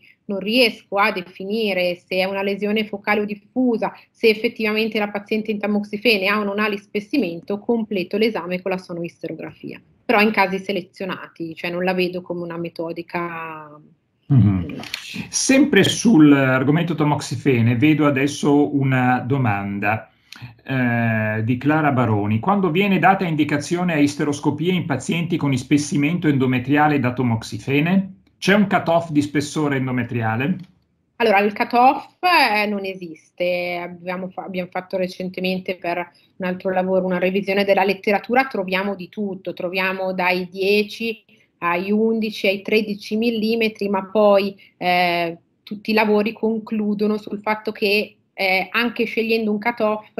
eh, la, la, percentuale di malignità è bassissima a fronte di un numero elevatissimo di procedure. Eh, personalmente la donna in corso di tamoxifene merita un accertamento istologico dal mio punto di vista, poi magari eh, la dottoressa Lazzari ce lo spiega meglio. Ehm, quando sanguina sicuramente, perché lì è molto probabile che soprattutto se in menopausa che ci sia un um, una lesione quantomeno focale, io non utilizzo cut-off. Se ho il dubbio di un endometrio mh, mm, con proliferazione abnorme in corso di tamoxifene, ecco qui faccio l'isterosonografia, valuto bene i layer endometriali, se mi sembrano espessiti decido per un campionamento. E anche lì se è un ispessimento diffuso non mando la paziente a isteroscopia ma faccio la PPL direttamente in corso di esame. Se invece mi sembra di vedere una lesione focale che potrei non campionare, mando la paziente a isteroscopia.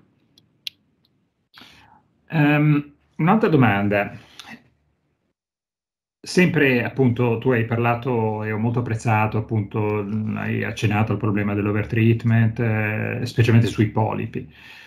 E noi ginecologi sappiamo che le, le, le due lesioni più soggette a overtreatment sono cisti ovariche e polipi uterini. Eh, ci ritroviamo eh, con delle liste di attesa impressionanti anche di donne eh, da sottoporre a polipectomia. Allora, la, eh, la domanda è questa. Um, ad esempio, in Mangiagalli noi abbiamo adottato sistematicamente lo score IOTA per la valutazione delle eh, masse annessiali questo aiuta chi eh, deve selezionare anche le priorità eh, a, a, valutare meglio e, e, e a cercare di, di dare, eh, come posso dire, una visione prospettica delle cose, ciò che è più urgente, ciò che è meno urgente, insomma. Ehm, perché quando ci si trova di fronte, specialmente con eh, tutti questi problemi di restrizione Covid adesso e riduzione di sedute, noi abbiamo veramente abbiamo centinaia, se non migliaia, se non quasi 2000 pazienti in nota. A questo punto è pensabile eh, una, una, sorta di scorreieta, non so, per i polipi che possa fornirci uno strumento analogo a quello che abbiamo sulle masse NSA per capire eh, chi deve essere, perché chi, va, chi dà le priorità molto frequentemente i pazienti non le vede. Eh, cioè, nel senso, arrivano dagli ambulatori, dagli studi e via dicendo, ma uno si trova con una scheda di messa in nota e non, a parte che ovviamente non ci sia un sintomo di sanguinamento in postmenopausa, ci mancherebbe, ma eh, la gran parte dei casi non è, que- non è così. Allora, diciamo che eh, dal mio punto di vista, da un punto di vista ecografico, eh, è bene, come dicevamo, valutare la lesione, ma anche valutare l'endometrio circostante, perché un polipo singolo eh, subcentimetrico nel contesto di un endometrio omogeneo, sincrono col, con la fase del ciclo, se la donna è in premenopausa, oppure se il restante endometrio è atrofico e abbiamo la lesioncina piccolina iperetocogena della, nella donna in postmenopausa, ovviamente asintomatica, eh, dal nostro punto di vista si può aspettare e è verosimilmente una lesione focale. Altro discorso se io ho una lesione polipoide meglio rappresentata nel contesto di un endometrio complessivamente ispessito disomogeneo, quindi intanto il restante endometrio è molto importante da valutare, forse più del polipo stesso. Ricordiamo poi che la prevalenza di polipi maligni è tra il 2 e il 4,5% eh, tra popolazione generale in postmenopausa, quindi eh, è intanto bene non stressare la paziente che entro un mese deve fare l'isteroscopia, se no morirà di cancro, avrà metastasi perché arriva gente terrorizzata da questo. Eh, poi se la paziente è una paziente compliante, orientata, perché soprattutto se è menopausa e vedo un polipo, la istruisco sul fatto che potrà sanguinare, se sanguinerà mi ricontatterà prima del prossimo controllo e rivaluteremo la situazione. Però descrizione del polipo, dell'endometrio circostante e della vascolarizzazione sia del polipo che dell'endometrio circostante dal mio punto di vista. Luca Gazzolari chiede, sempre necessaria la profilassi antibiotica dopo isterosonografia? Io non, la faccio, io non la faccio mai, ehm, disinfetto la cervice, ovviamente non faccio la procedura se la paziente ha una vaginita in corso, la rimando, eh, però non, io non faccio mai la profilassi antibiotica sistematica eh, per isterosonografia, no. Hai brevemente accennato all'adenomiosi. Eh, in ambito di ginecologia benigna eh, c'è un fiorire di eh, possibili classificazioni, di, di, studi su associazioni con altre patologie, con fibromi, con endometriosi, vi dicendo, ma veramente c'è una forte spinta eh, nel, nella letteratura internazionale sull'adenomiosi. Ora tu hai fatto vedere delle, eh, delle immagini di adenomiosi, eh, come posso dire, didattiche, immagini eh, di adenomiosi veramente molto chiare. Il problema è che qui anche dal punto di vista appunto di un potenziale overtreatment, non, stiamo, non, non, si parla ovviamente delle forme che hai fatto vedere tu che sono fuori discussione, ma eh, questo continuo classificare in sottogruppi sempre più definiti, eh, la subbasale, la focale, la diffusa, la diffusa posteriore, eh, insomma la, la diffusa eh, esterna, interna, la focale esterna interna, cioè io, a parte il fatto di rimanere un filo confuso perché l'adenomiosi per definizione è una malattia, non dico che necessariamente sia eh, sistemica in tutto il miometrio, ma difficilmente è localizzate in un preciso punto, quindi questa, come facciano a classificare in questo modo così preciso tutte queste diverse forme non, non mi è chiaro, ma io credo che, e vorrei questa tua un'opinione su questo, credo che più noi ci addentriamo in, in sottogruppi, in sottopopolazioni, più rischiamo di perdere una visione generale eh, che, che, è l'associazione col sanguinamento uterino anomalo in questo, in questo nostro caso eh, in donne in periodo riproduttivo perché eh, l'adenomiosi in, in, forme, in, forme, limitate eh, è un, è un eh, ecco dimmi tu l'adenomiosi in forme limitate qu- quanto la incontri, quanto è frequente? È molto frequente, raramente paziente la segnalo come cosa patologica, se non per la paziente che ha girato mille chiese senza avere nessun reperto, se trovo un reperto che si discosta dalla normalità lo segnalo, eh, in genere mm, ovviamente è giusto segnalare i quadri come quelli che ho fatto vedere io, eh, se la paziente è, sistoma- è, sintomatica la mando a un gruppo che non è il mio, generalmente è il vostro, per presa in carico e ehm,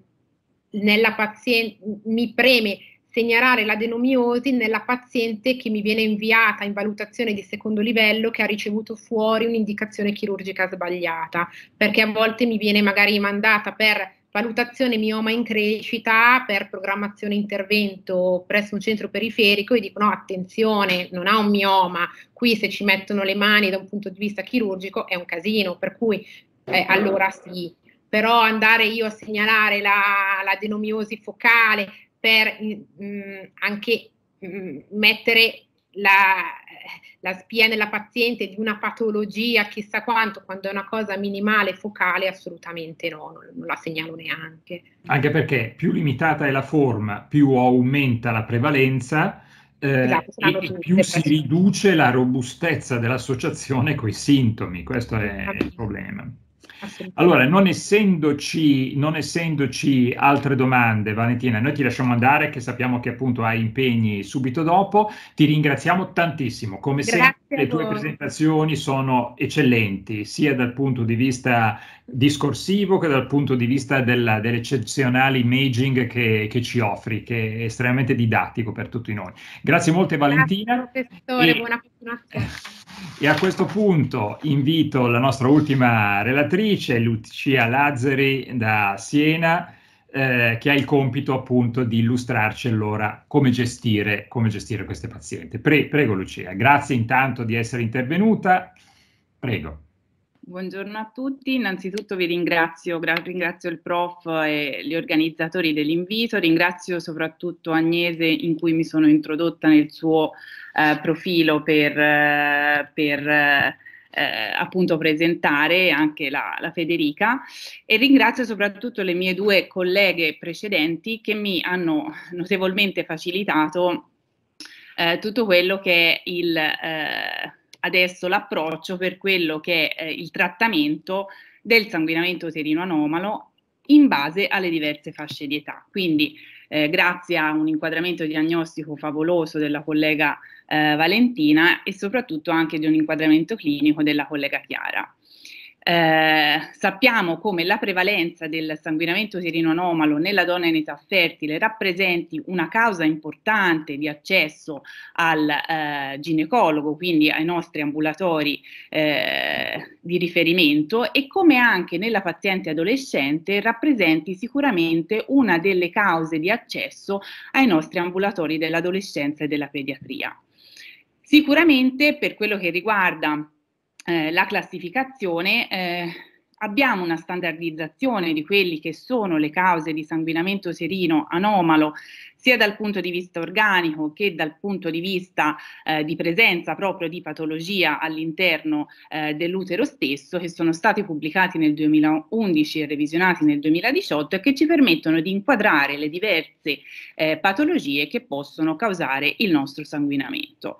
Per quello che riguarda il management, noi possiamo scegliere diversi tipi di approccio. Sicuramente un primo approccio, un trattamento medico, un trattamento chirurgico. Ovviamente vedremo come eh, differen- il differente approccio terapeutico dipenda sicuramente dalla personalizzazione, quindi dalla donna che abbiamo davanti, dall'età, eh, dal desiderio di gravidanza, dal, ehm, dal, eh, dall'entità anche del sanguinamento. Esistono anche delle eh, tecniche non chirurgiche e non mediche, eh, di cui in realtà non ho molto approfondito, ma che sappiamo eh, essere sviluppate specialmente negli ultimi periodi, soprattutto per quello che riguarda l'approccio ai fibromi, all'adenomiosi soprattutto, eh, che ehm, stanno iniziando a prendere campo, anche se ad oggi ancora non abbiamo risultati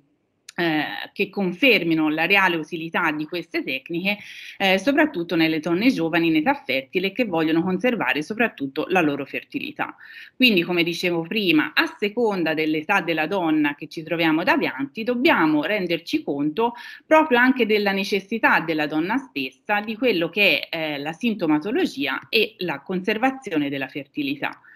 Sicuramente l'approccio diagnostico parte da uh, una storia clinica, quindi eh, capire questo sanguinamento quando interviene, quindi se, durante, se, è un sanguinamento abbondante legato alla mestruazione, se è un sanguinamento intermestruale, se è un sanguinamento postmestruale, un sanguinamento postcoitale. Quindi la storia clinica rappresenta sicuramente ehm, per noi che mh, mm, spesso siamo in ambulatorio e che eh, a volte utilizziamo sicuramente l'ecografia come, quasi come primo strumento eh, per fare diagnosi di patologia, dobbiamo tornare invece a quello che è la storia clinica. Dobbiamo chiedere se per esempio c'è familiarità per sanguinamento uterino anomalo, per un sanguinamento abbondante, se dal menarca questo sanguinamento è presente, perché come vedremo più avanti, ad esempio delle coagulopatie eh, si presentano fin dall'età del menarca come eh, un sanguinamento uterino anomalo e possono rappresentare l'unico sintomo di questa patologia. Sicuramente l'esame clinico e l'ecografia transvaginale che eh, aiutata dalla sonoisterografia eh, sicuramente ci permette un miglioramento di quello che è il, ehm, la, la, conferma della nostra sospetta diagnosi clinica e sicuramente l'isteroscopia che ci permette di non solo visualizzare l'eventuale patologia endocavitaria, ma ci permette anche con la metodica del TN Treat e con l'utilizzo di strumenti miniaturizzati di poter trattare direttamente la patologia in caso appunto di eh, una paziente compliante e quindi di eh, poter trattare direttamente in un'unica seduta la nostra patologia, se penso ad un polipo o ad addirittura un piccolo mioma, oppure di fare delle biopsie mirate proprio sotto guida ehm, visiva il che ci permette sicuramente anche un miglioramento di quello che è poi la eh, diagnosi istologica. Se andiamo ad analizzare le cause di sanguinamento e quindi il relativo trattamento eh, terapeutico del sanguinamento e se partiamo dall'adolescenza sicuramente come è già stato sottolineato eh, la prima causa di sanguinamento serino anomalo in adolescenza è rappresentato dalla eh, i cicli anovulatori e quindi da un'immaturità del sistema asse ipotalamo-ipofisi. Sicuramente eh, le disfunzioni ovulatorie contribuiscono non solo alla, um, alla presenza del, del, sanguinamento serino-anomalo, ma possono anche manifestarsi come anche un'alterazione del timing della mestruazione. Quindi le nostre pazienti giovani si presenteranno al nostro ambulatorio eh, lamentando non solo dei cicli irregolari, ma molto spesso dei cicli molto abbondanti. È importante, come dicevo prima, chiedere se questo sanguinamento irregolare e questo sanguinamento anomalo abbondante e eh, abbiamo visto appunto prima, con la prima collega come anche quanti, cercare di quantificare il più precisamente possibile mediante appunto eh, degli, ehm, dei, degli, dei, form, del, degli schemi che ci permettono appunto di quantificare il sanguinamento, di capire appunto se siamo di fronte o meno a un sanguinamento eh, di tipo anomalo. Sicuramente esistono altre cause oltre alla eh, disfunzione ovulatoria ehm, che possono eh, essere eh, causa di sanguinamento in adolescenza e se pensiamo alla sindrome dell'ovaio policistico, talvolta all'ipotiroidismo, alterazioni della prolattina, lo stress sia in senso fisico ma anche in senso mentale, quindi le variazioni estreme di peso, l'obesità e l'anoressia, un calo eh, rapido di mh, mm, un dimagrimento molto rapido o un intenso esercizio fisico e anche cause iatrogene. Quindi nel momento in cui individuiamo eh, fra eh, queste diciamo patologie, fra queste cause eh, la possibile eh, responsabile del sanguinamento anomalo, l'andare a trattare eh, la specifica causa ripristinerà quello che è la eh, normale ciclicità e soprattutto la riduzione eh, del, ehm, del, sanguinamento. Ovviamente quello che è importante fare durante un counseling con la nostra paziente, specialmente con le ragazze giovani e spesso anche con le mamme, è come queste situazioni eh, da anovulazione o ehm, una, se pensiamo all'ovaio policistico o al trattamento delle, dei, dei, sanguinamenti anomali dovuti a uno stress mentale o a variazioni, disturbi dell'alimentazione, come eh, il recupero eh, necessiti di tempo, quindi non sia immediato, ad esempio con il recupero del peso corporeo, un'immediata ripresa della regolare ciclicità e del normale sanguinamento, ma come in realtà l'organismo necessiti di un adattamento per eh, ripristinare normalmente eh, la ciclicità ciclicità mestruale. Quando ci troviamo di fronte ai disturbi ovulatori, per quello che riguarda il trattamento medico, sicuramente dobbiamo distinguere se il sanguinamento della nostra giovane paziente è un sanguinamento che può essere eh, trattato in maniera eh, da ospedalizzata, cioè se il sanguinamento se è acuto e ta- talmente profuso da eh, provocare un'anemizzazione della nostra paziente, oppure se è un sanguinamento che può provocare sì un'anemizzazione, ma con valori di emoglobina ehm, diciamo eh, accettabili e che può essere gestito eh, tranquillamente a domicilio. Sono capit- capitano eh, spesso, credo anche a voi, ma sono capitate spesso anche eh, specialmente in questi ultimi due anni di pandemia, eh, numerosi accessi di ragazze giovani, adolescenti con sanguinamenti e con emoglobine sotto a 8 e che necessitavano di ospedalizzazione e che necessitavano sicuramente di un trattamento che potesse interrompere questo sanguinamento. Sicuramente eh, il farmaco più utilizzato è rappresentato dall'estroprogestinico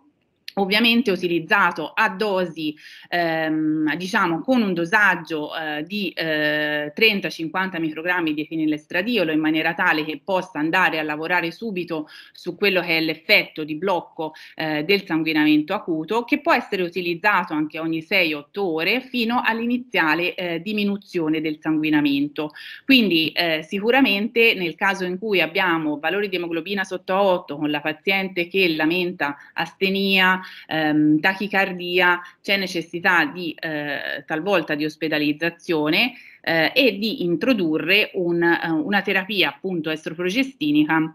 ad alte dosi in maniera tale da eh, ingenerare il blocco del sanguinamento. Invece per sanguinamenti di tipo moderato o eh, lieve, in cui diciamo i valori di emoglobina sono stabili, eh, possiamo utilizzare sempre la nostra terapia mh, estroprogestinica con 30-50 microgrammi di fenilestradiolo da utilizzare 8 ogni 8-12 ore fino alla riduzione del sanguinamento e successivamente da proseguire per almeno 21 giorni. Nella nostra pratica clinica consigliamo di eh, proseguire la terapia estroprogestinica, ovviamente una volta ridotto il sanguinamento a dosaggio diciamo di 30 microgrammi di etinilestradiolo eh, per almeno 6 mesi, per dare diciamo, all'organismo anche il tempo di ripristinarsi a livello di emoglobina e comunque sia di recupero di quello che, che è l'anemia, più difficile utilizzare l'aiuto medicato al levonorgestrel, soprattutto nelle adolescenti e nelle ragazze giovani, tuttavia nelle, nelle raccomandazioni ehm, ben, viene proposta anche come terapia eh, a lungo termine.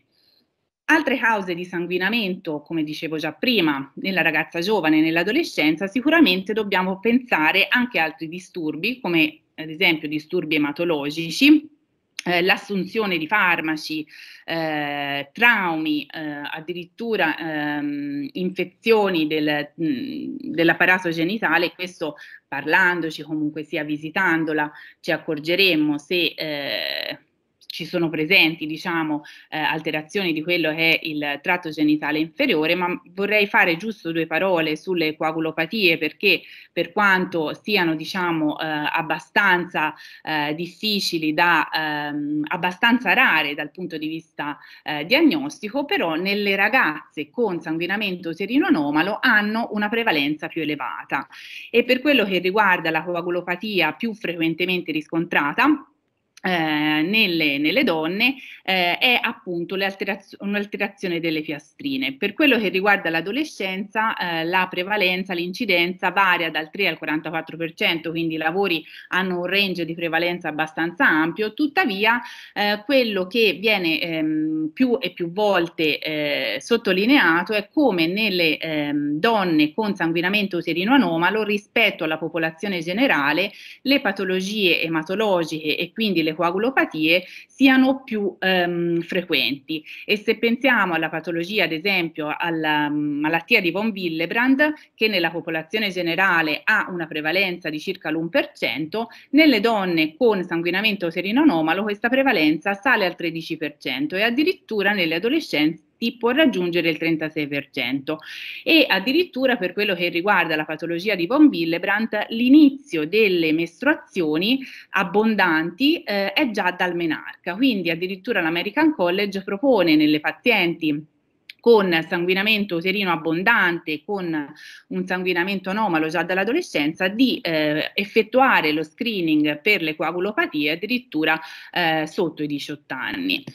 Eh, per quello che riguarda sicuramente la terapia nelle coagulopatie è importante un approccio multidisciplinare, quindi il ginecologo non può fare tutto da solo, ha, ha bisogno dell'aiuto eh, fondamentalmente dell'ematologo. Eh, sicuramente anche in questo caso è possibile ehm, sia nel deficit piastrinico ma anche nel, ehm, nella malattia di von Willebrand associare altri farmaci, farmaci ginecologici, appunto una terapia ormonale che possono essere essere rappresentati dall'estroprogestinico eh, ma anche dall'analogo del GNRH. Eh, questo un, mi viene da pensare a un caso che ci è capitato recentemente di una paziente affetta da malattia di von Willebrand che ha fatto un sanguinamento importante da rottura di corpo luteo, eh, ha, ehm, è stata diciamo trasfusa, ha fatto il fattore di von Willebrand, quindi ha fatto due somministrazioni a distanza di 24 ore del fattore di von Willebrand Brand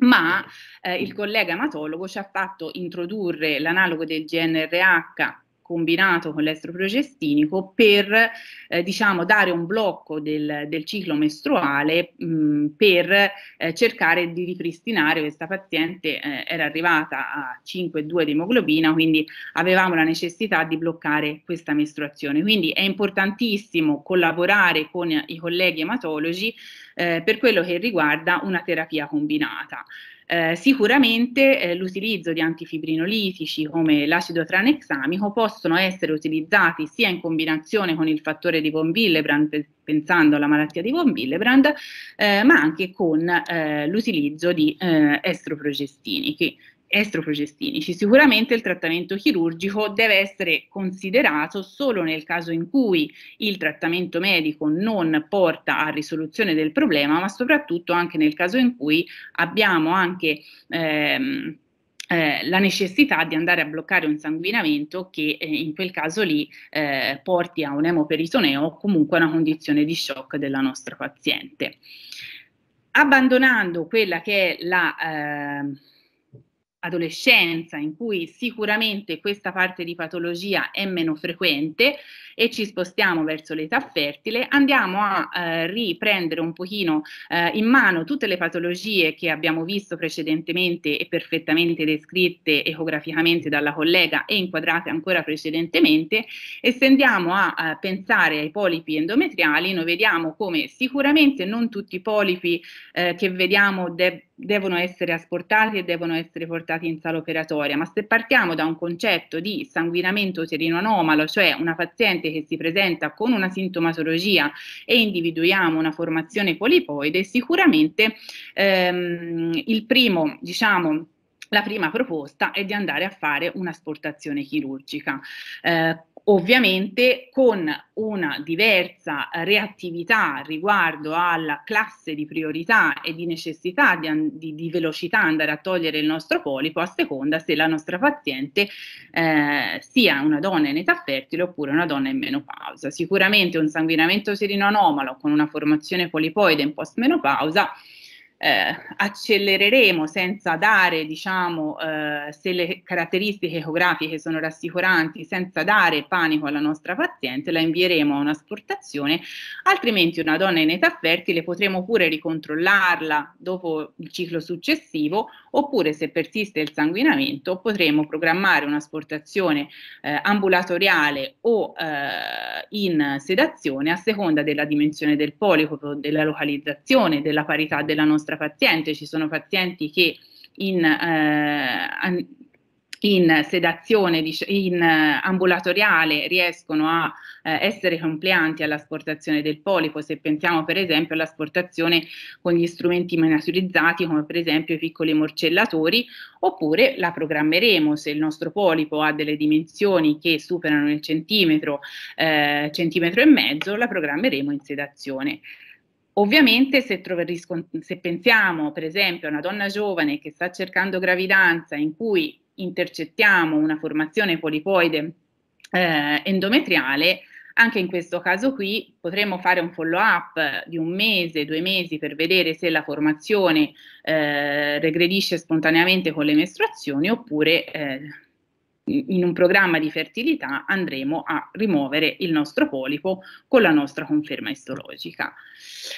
Per quello che riguarda l'adenomiosi, ehm, Sicuramente è una patologia che oggi sta emergendo, anche se in realtà se guardiamo in letteratura, sia per quello che riguarda la prevalenza e sia per quello che riguarda anche la standardizzazione della terminologia istologica, abbiamo un gran range di variabilità, quindi una patologia che varia dal 20 al 70% con eh, una ehm, diciamo eh, difficile anche standardizzazione per quello che è eh, i criteri istologici se si guarda ai diversi lavori della letteratura, sicuramente quello che è stato fatto nella revisione del 2018 per quello che riguarda eh, l'adenomiosi è stato suggerito di utilizzare, e questa è eh, la speranza, cioè di utilizzare tutti la stessa terminologia, perlomeno dal punto di vista diagnostico, per descrivere i criteri ecografici di sospetto di eh, adenomiosi uterina, eh, definiti appunto dal MUSA Statement del 2016 come precedentemente presentati dalla collega collega Valentina ed è folle eh, secondo, eh, secondo me, ecco questa è un'idea mia, eh, come poter pensare a una diagnosi definitiva di, di, adenomiosi solo con l'istologia, quando abbiamo, come abbiamo visto, un'ecografia e una risonanza magnetica, che sicuramente è stato la, il primo esame diagnostico che ha standardizzato la terminologia e i criteri diagnostici per l'adenomiosi, andare a parlare di adenomiosi solo quando abbiamo un risultato istologico in mano. Quindi Sicuramente la eh, diagnostica ecografica e di risonanza magnetica ci permettono di avere un forte sospetto per quella che è eh, la, ehm, il sospetto appunto di patologia adenomiosica. Eh, nella fattispecie come, di, come, diceva prima il professor Vercellini, io sono una grande appassionata per quello che è eh, la, la, parte ecografica dell'adenomiosi e abbiamo anche provato a fare una sorta di classificazione della, della severità dell'adenomiosi in correlazione a quello che è la sintomatologia clinica. Quello che abbiamo visto è che se noi guardiamo bene al miometrio delle nostre pazienti, vediamo come l'adenomiosi in realtà non sia più una patologia solo tipica delle donne un po' più adulte, dai 35 ai 50 anni, che hanno già avuto avuto gravidanze e che hanno disturbi del ciclo, ma come si possa riscontrare anche in ragazze più giovani, addirittura anche in, eh, nelle ragazze diciamo eh, adolescenti eh, con diciamo una media di, di, di 16 anni e nullipare, che non abbiano avuto gravidanza. Quindi di dare uno sguardo un pochino più approfondito senza creare panico, senza creare eh, per forza una terapia, perché obiettivamente la terapia la si dà nel momento in cui c'è una sintomatologia oppure nel momento in cui c'è un problema che la paziente pone, altrimenti la, l'adenomiosi eh, viene sì segnalata nel report, ma gli viene dato anche un significato di base ehm, di eh, patologia eh, concomitante no? di presenza di endometrio nel miometrio quasi come una sorta di parafisiologia, mh, hm, quando non associata a sintomatologia. Quello che dicevo prima, ci abbiamo un po' guardato agli uteri delle ragazze giovani, abbiamo visto come per esempio nelle nullipare, qui avevamo preso le studenti di medicina, presentassero dei eh, segni di adenomiosi diffusa o focale, ma come in realtà quello che ci interessava di più è chi aveva qualche segno di adenomiosi presentasse una sintomatologia e in quel caso lì può avere senso eh, indirizzare una paziente per esempio a un'ecografia più approfondita oppure anche a una terapia nel caso in cui sia presente un sintomo. E lo stesso abbiamo fatto con le adolescenti. Abbiamo visto come in realtà ci siano delle lesioni focali già nel miometrio, eh, specialmente nelle, ragazzi, nelle, ragazze adolescenti che presentavano eh, una coesistenza anche per esempio di endometriosi. Quindi sicuramente nelle sintomatiche eh, adolescenti con segni anche di endometriosi, anche l'utero eh, poneva del, del sospetto per la presenza di adenomiosi, ma abbandonando diciamo diciamo quello che le, le giovani ragazze e le adolescenti, se andiamo a guardare il trattamento medico per, il, o il trattamento chirurgico per quello che è l'adenomiosi, sicuramente sappiamo che non esistono dei farmaci label eh, ad oggi per l'adenomiosi. Eh, sicuramente il farmaco più utilizzato è rappresentato dal progestinico eh, la cui, diciamo, il cui utilizzo, ehm, il cui meccanismo di azione eh, si basa sull'effetto proprio antiproliferativo e antinfiammatorio eh, che eh, il progestinico ha sul, sull'endometrio stesso, portando eh, una riduzione a, di quello che è il sintomo sanguinamento, con miglioramento non solo del sanguinamento ma anche del... Ehm, del, eh, del, dolore spesso associato all'adenomiosi, perché come sappiamo i sintomi proprio tipici riferiti del, dell'adenomiosi sono rappresentati dal sanguinamento ma anche dalla dismenorrea. Eh, ci sono numerosissimi lavori Eh, che eh, sicuramente vedono il metrossiprogesterone acetato e il, ehm, il NETA come eh, i eh, progestinici più utilizzati anche a lungo termine, eh, anche per lunghi periodi di tempo appunto da, dalle donne. Nella nostra pratica clinica utilizziamo prevalentemente il NETA eh, sia per via orale che per via vaginale, eh, con periodi di trattamento che eh, superano anche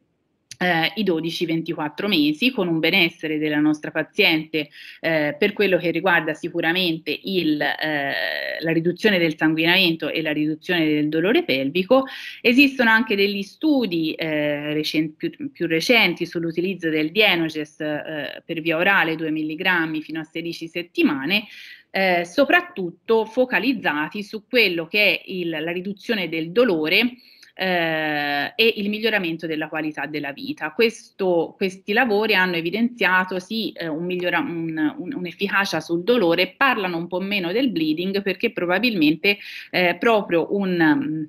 effetto diciamo collaterale del, un side effect de, del dienogest rappresentato anche proprio dal sanguinamento a volte è più difficile eh, raggiungere una menorrea rispetto agli altri due progestinici sicuramente il, il NETA rappresenta eh, se vogliamo andare a scegliere una, una via appunto orale o vaginale, eh, il farmaco di prima scelta. Vi faccio vedere giusto due immagini di casi nostri, come eh, in realtà come funzioni bene la terapia medica su quello che è l'adenomiosi e quindi eh, questo era un utero, ora non, non, mi, non, mi, parte il video, comunque con un adenomioma, segni di eh, adenomiosi focale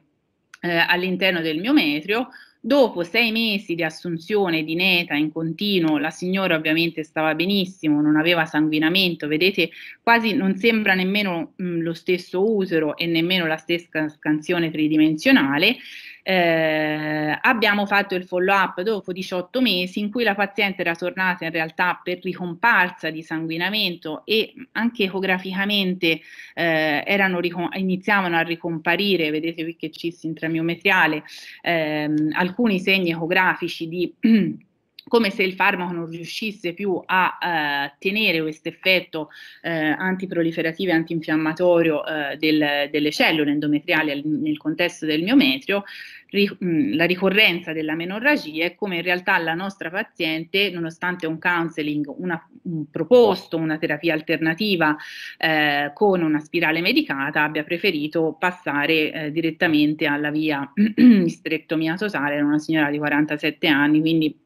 eh, ha deciso per eh, la terapia definitiva conservativa, ma come? Eh, sicuramente l'utilizzo del farmaco permetta, cioè l'assunzione del farmaco mh, mm, definisca anche dei cambiamenti per quello che è il nostro aspetto ecografico e che nel momento in cui ricompare il sintomo anche dal punto di vista ecografico avevo, avevamo rivisto eh, cambiare quello che, è l'aspetto proprio tipico dell'adenomiosi. Sicuramente il trattamento di scelta, specialmente nelle donne che hanno ehm, espletato il loro desiderio gravidico e che comunque eh, siano appunto affette da, da adenomiosi e da sintomatologia come un come il sanguinamento serino anomalo, l'utilizzo della IUD medicata all'evonorgestrel rappresenti sicuramente una terapia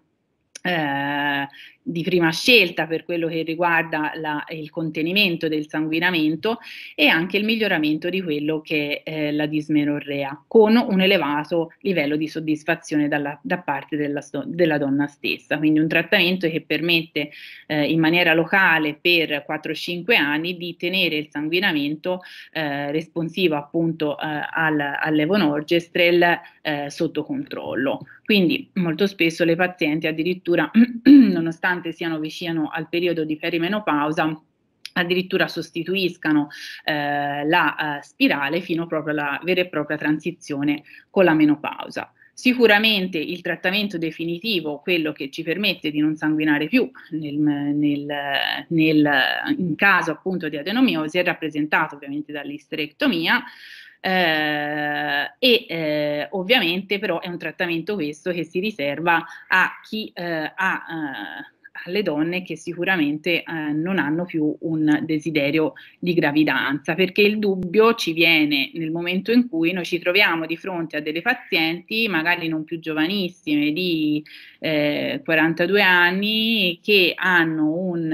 un, quadro ecografico di adenomiosi abbastanza importante e che ci parlano di desiderio di gravidanza. Quindi quali strategie abbiamo? Che cosa noi possiamo proporre a queste pazienti? Possiamo proporre la chirurgia? Se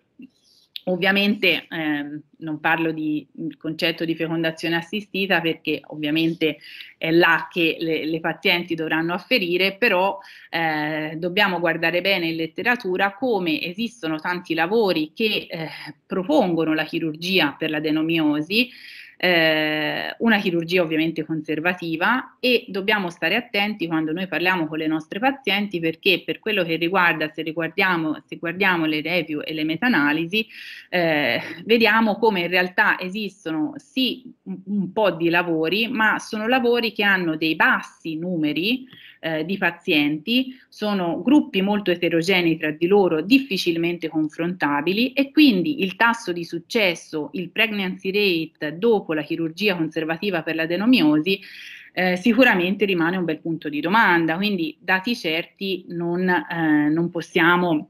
sicuramente darli per quello che riguarda un trattamento chirurgico. Quello che dobbiamo sicuramente dire alla nostra paziente è che è una chirurgia non semplice, che non tutti i chirurghi possono ehm, andare e proporsi per una uh, chirurgia conservativa dell'adenomiosi e che la paziente deve avere un, un, ottimo consenso informato in tal caso perché anche quello che ehm, sul poten- sul pregnancy rate successivo purtroppo le percentuali sono molto basse e soprattutto anche quello che può succedere dopo la chirurgia conservativa per adenomiosi, perché sappiamo come l'interesse oggi dell'adenomiosi sia focalizzato non solo sulla sintomatologia, mh, sanguinamento e dolore, ma sul potenziale ruolo dell'adenomiosi stessa sulla fertilità. Eh? Quindi esistono numerosi eh, lavori importanti per quello che pa- mh, eh, per quello che riguarda appunto l'impatto dell'adenomiosi su quello che è il tasso di eh, aborto spontaneo nel primo trimestre, ehm, su, ehm, stanno uscendo lavori su quello che è eh, i potenziali rischi ostetrici della paziente con adenomiosi che rimane in gravidanza sia spontaneamente che con fecondazione assistita, su quelli che sono i potenziali rischi ostetrici sia neonatali che materni, quindi rischio di preeclampsia, parto pretermine, alterata placentazione, placenta previa, ma come in realtà sia difficile suggerire alla nostra paziente che ha un desiderio di gravidanza con ehm, un'adenomiosi importante quello che riguardi il eh, pregnancy rate dopo chirurgia. Questo perché? Perché i dati sono pochi, difficilmente paragonabili e difficilmente standardizzabili. Passando a un altro eh, tema del, dell'età fertile, passiamo sicuramente ai fibromi uterini che rappresentano sicuramente una delle cause più frequenti di sanguinamento serino anomalo in età fertile eh, delle nostre pazienti. Eh, l'ecografia, la sonoisterografia ci permettono di eh, classificare eh, la, tramite la, la classificazione FIGO non solo il numero ma anche la precisa più o meno precisa localizzazione del, dei nostri fibromi all'interno eh, del nostro utero che ci permette sulla base sempre della nostra paziente e del appunto eh, l'aspetto di benignità che è il fibroma, di decidere per una chirurgia definitiva che è rappresentata dall'isterectomia e la modalità di isterectomia poi verrà decisa anche sulla base del numero e delle dimensioni dell'utero, un approccio laparoscopico eh, piuttosto che un approccio eh, laparotomico eh, sulla base anche delle caratteristiche dei pregressi interventi chirurgici della paziente, o un approccio di tipo conservativo che ci deve garantire una completa escissione della nostra formazione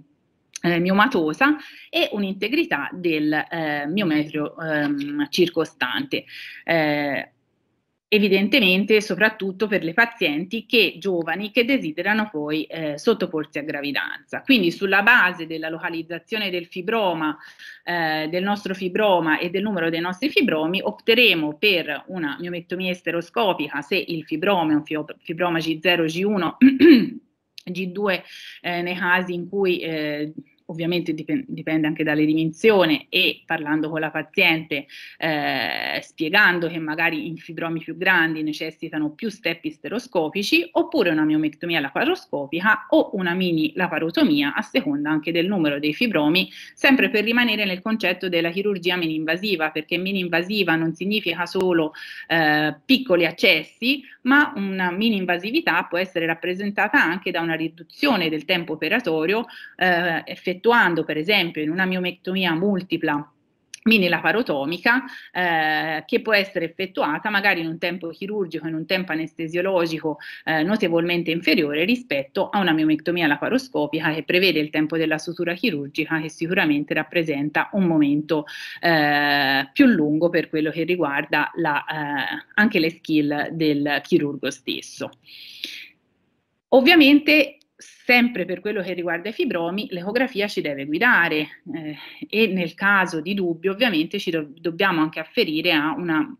radiologia di secondo livello. Questo perché è importante la diagnosi differenziale, non solo per la parte chirurgica, perché se noi andiamo a operare un mioma o un adenomioma, nonostante l'adenomioma abbia una consistenza più soffice, abbia una pseudocapsula, ehm, per quello che riguarda l'adenomiomectomia, eh, la difficoltà chirurgica sicuramente ehm, non cambia. Ovviamente se scambiamo una, eh, una adenomiosi della, diffusa della parete posteriore con un fibroma, ecco lì ci troviamo un po' nei guai perché ovviamente lì andiamo ad aprire il miometrio e non troviamo quello che è la lesione stessa, questo perché l'adenomiosi diffusa eh, è eh, diciamo tutta nel contesto della parete uterina e quindi no, non, non, si ha un... Um, non si ha un, ehm, una, una formazione reale da togliere ma per quello che eh, esula dalla, dalla, chirurgia e se noi pensiamo alla terapia medica e al grande utilizzo che è stato fatto della terapia medica eh, per i eh, fibromi uterini e pensiamo in questo caso all'utilizzo dell'ulipristal acetato che ha dato dei grandissimi risultati per quello che riguardava la riduzione del sanguinamento, la riduzione del volume del mioma, quanto è importante fare un, poi ovviamente tutti sapete che è stato rimosso per tutte le problematiche eccetera eccetera, però eh, all'inizio c'è stato un grande utilizzo del, mm, del, dell'ulifristal ogni volta che veniva intercettata una formazione miometriale che potesse avere le caratteristiche del fibroma. E eh, come, come, si suol dire, sbagliando si impara, eh, anche ehm, sono, ci è capitato un caso anche a noi in cui una formazione della, della parete anteriore, verosimilmente classificata come fibroma, era, la, la, nostra paziente era stata sottoposta a un trattamento con ulipristal e vedete come la nostra formazione a tre mesi di distanza è cambiata, quindi è cambiata in termini di vascolarizzazione, è cambiata anche in termini di endometrio, quindi l'endometrio che qui eh, era un endometrio prevalentemente sottile, eh, aveva subito le ehm, trasformazioni caratteristiche della terapia con l'ulipristal, quindi il cosiddetto PAEC, e come la paziente continuasse eh, a sanguinare. Ovviamente eh, in, in, prima battuta c'era stato un, un, un impaurirsi come eh, per ehm, patologia di tipo, eh, di tipo spostata verso il maligno, in realtà era un adenomioma che era stato sottoposto a una terapia completamente sbagliata. E abbiamo, e abbiamo visto, ma ci sono presenti in letteratura, come l'utilizzo dell'ulifristal nell'adenomiosi va ad aumentare quello che è eh, la, la, l'entità delle lesioni eh, adenomiotiche e in particolare eh, si ehm, ipertrofizzino le lesioni adenomiotiche stesse rispondendo proprio alla, allo stimolo sull'endometrio stesso e eh, anche la vascolarizzazione vada ad aumentare. Quindi le, come l'ecografia sicuramente ci guidi nella scelta non solo della chirurgia mini laparosomia, laparoscopia, eh, isteroscopia, ma anche nella scelta del corretto trattamento medico. Eh, andiamo a, eh, non ho stressato molto il concetto della parte maligna, questo perché? Perché per quello che riguarda la terapia, la terapia del cancro dell'endometrio, sicuramente noi sappiamo come l'istologia ci guidi non solo sull'istotipo, ma ehm, anche su, proprio, soprattutto per quello che riguarda sull'istotipo e come l'ecografia in combinazione con la radiologia, la risonanza magnetica ci permette anche di andare a valutare l'infiltrazione del, del um, l'infiltrazione endometriale all'interno del miometrio e si vada sì, nella maggior parte dei casi fortunatamente perché i cancri dell'endometrio ad oggi fortunatamente si individuano in stadio precoce e grazie anche agli studi eh, probabilmente eh, citati prima ancora prima e quindi l'in- l'intervento chirurgico, eh, l'istrectomia extrafasciale con l'annestectomia bilaterale con o senza linfadenectomia o con linfonodo sentinella rappresenti sicuramente il trattamento di scelta per quello che riguarda lo stadio 1 e lo stadio 2. Eh, ho voluto sottolineare un pochino di più quello eh, la parte benigna, quindi la parte dell'iperplasia eh, per quello che riguarda il trattamento medico legato al sanguinamento uterino anomalo. E abbiamo visto come nell'iperplasia endometriale in cui sicuramente dobbiamo partire sì da un sospetto ecografico ma da una base di istologia in cui eh, il trattamento con il progestinico e verosimilmente con la spirale medicata al progesterone rappresenti il trattamento di prima scelta eh, che ehm, va a modificare, contrastando l'effetto proliferativo estrogenico eh, in maniera soprattutto loca- in maniera locale, vada a riportare lo spessore endometriale e successivamente diciamo al controllo esteroscopico la normalizzazione di quello che è ehm, il quadro appunto istologico. Il trattamento generalmente entro la durata del trattamento entro 3-6 mesi si ha una regressione gestione di quello che è eh, la, uh, iper, il quadro istologico iperplastico addirittura dall'84 al 100% per quello che riguarda la spirale medicata al levonorgestrel con il, il medrossiprogesterone acetato per via orale si ha una, diciamo, ci vuole più tempo a raggiungere il dato di eh, negativizzazione del, dell'iperplasia. E ovviamente eh, prevede un, un follow up eh, a, a, um, all'inizio iniziale a sei mesi. Per quello che riguarda la iperplasia atipica, soprattutto nel caso della preservazione della fertilità o se pensiamo a pazienti che hanno un rischio anestesiologico molto alto, pazienti molto obese, BPCO, che hanno un, un rischio anestesiologico più alto rispetto a eh, una possibile terapia medica, eh, la spirale medicata col levonorgestrel è considerata come il trattamento diciamo di prima scelta anche nella iperplasia atipica, eh, mentre il progestinico per via orale deve essere considerato come una eh, terapia alternativa e sicuramente anche in questo caso qui devono essere effettuati controlli eh, a distanza di sei mesi per confermare, diciamo, eh, sempre sotto guida isteroscopica, eh, ovviamente con, con biopsie guidate, eh, per valutare appunto l'istologia stessa. Ho messo giusto un accenno, e qui finisco, eh, sul sanguinamento di tipo iatrogeno perché specialmente nelle nostre eh, nonnine che a volte accedono al pronto soccorso, il sanguinamento eh, uterino può essere dovuto a eh, di terapie anticoagulanti, quindi sicuramente un inquadramento ecografico rappresenta il primo step, non sempre nelle pazienti che hanno un sanguinamento uterino e un'ecografia completamente negativa debbano essere, essere sottoposte a un'isteroscopia diagnostica e lo stesso vale, come diceva prima la collega, per il tamoxifene, nel momento in cui il tamoxifene, ehm, la sonoisterografia eh, e l'assenza di eh, di vascolarizzazione o anche di sanguinamento ci ci permette di evitare delle isteroscopie, quindi delle biopsie completamente inutili. Per quello che riguarda la terapia, sicuramente evitare, ehm, la, ehm, evitare tutto ciò che ehm,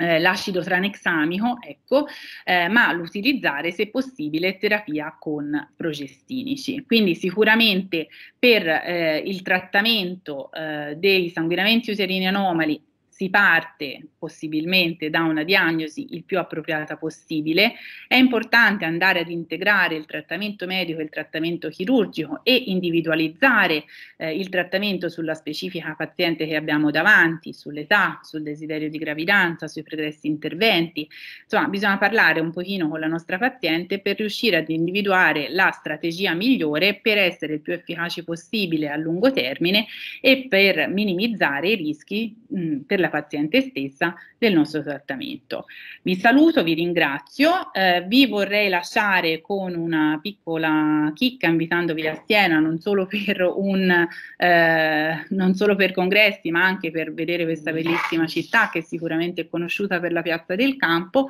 ma un po' meno conosciuta magari per questo eh, bellissimo luogo che è rappresentato dall'ospedale di Santa Maria della Scala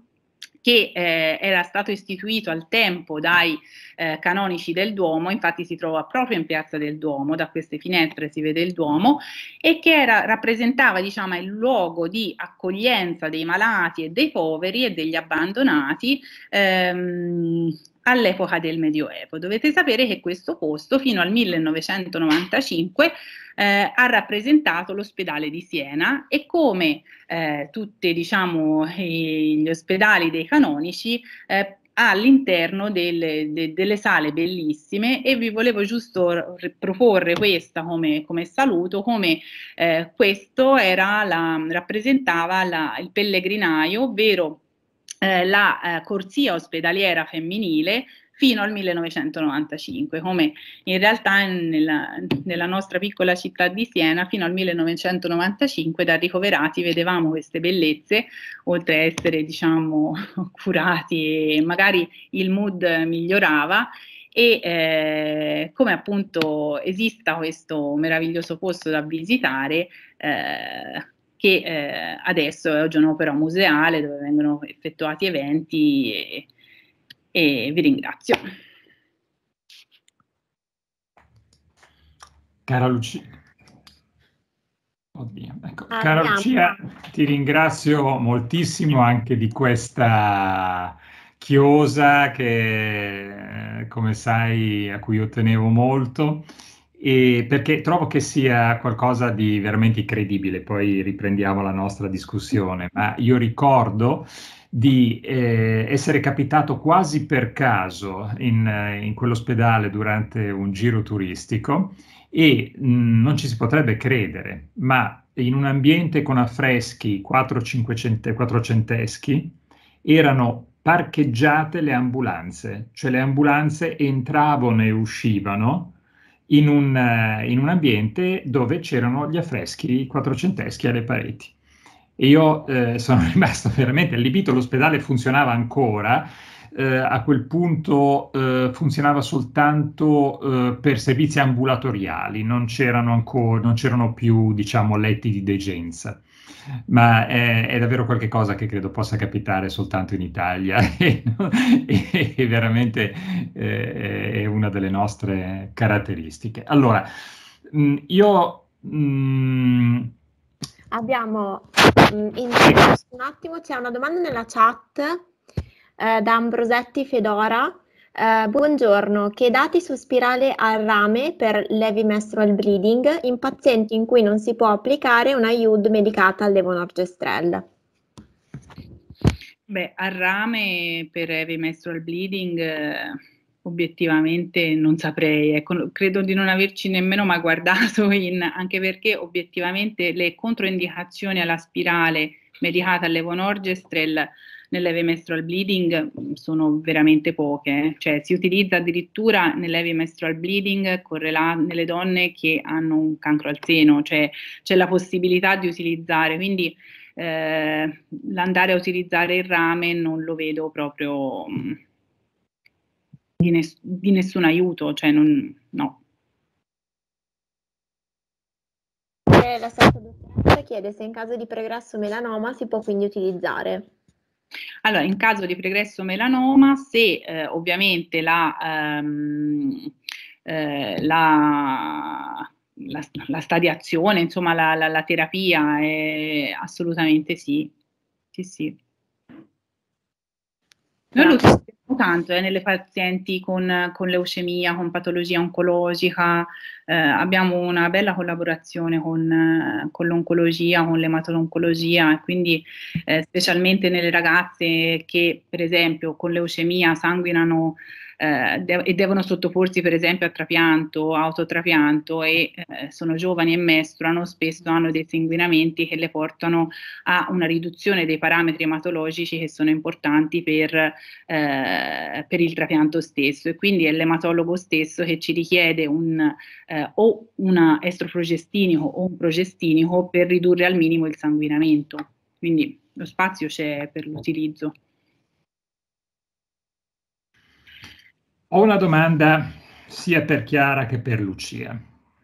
Nel vostro, nei vostri ospedali, come affrontate il sanguinamento uterino in periodo riproduttivo, il sanguinamento uterino acuto? In particolare, un tempo eh, il, quello che viene definito curettage endometriale, insomma, era demonizzato e eh, si è molto puntato sul eh, trattamento medico. Um, vorrei avere una vostra opinione su questo. E poi eh, vorrei insieme a, voi, insieme a, voi, affrontare anche il problema del trattamento del sanguinamento cronico dovuto a, specialmente a um, patologie organiche tipo adenomiosi e fibromi in donne non più desiderose di prole.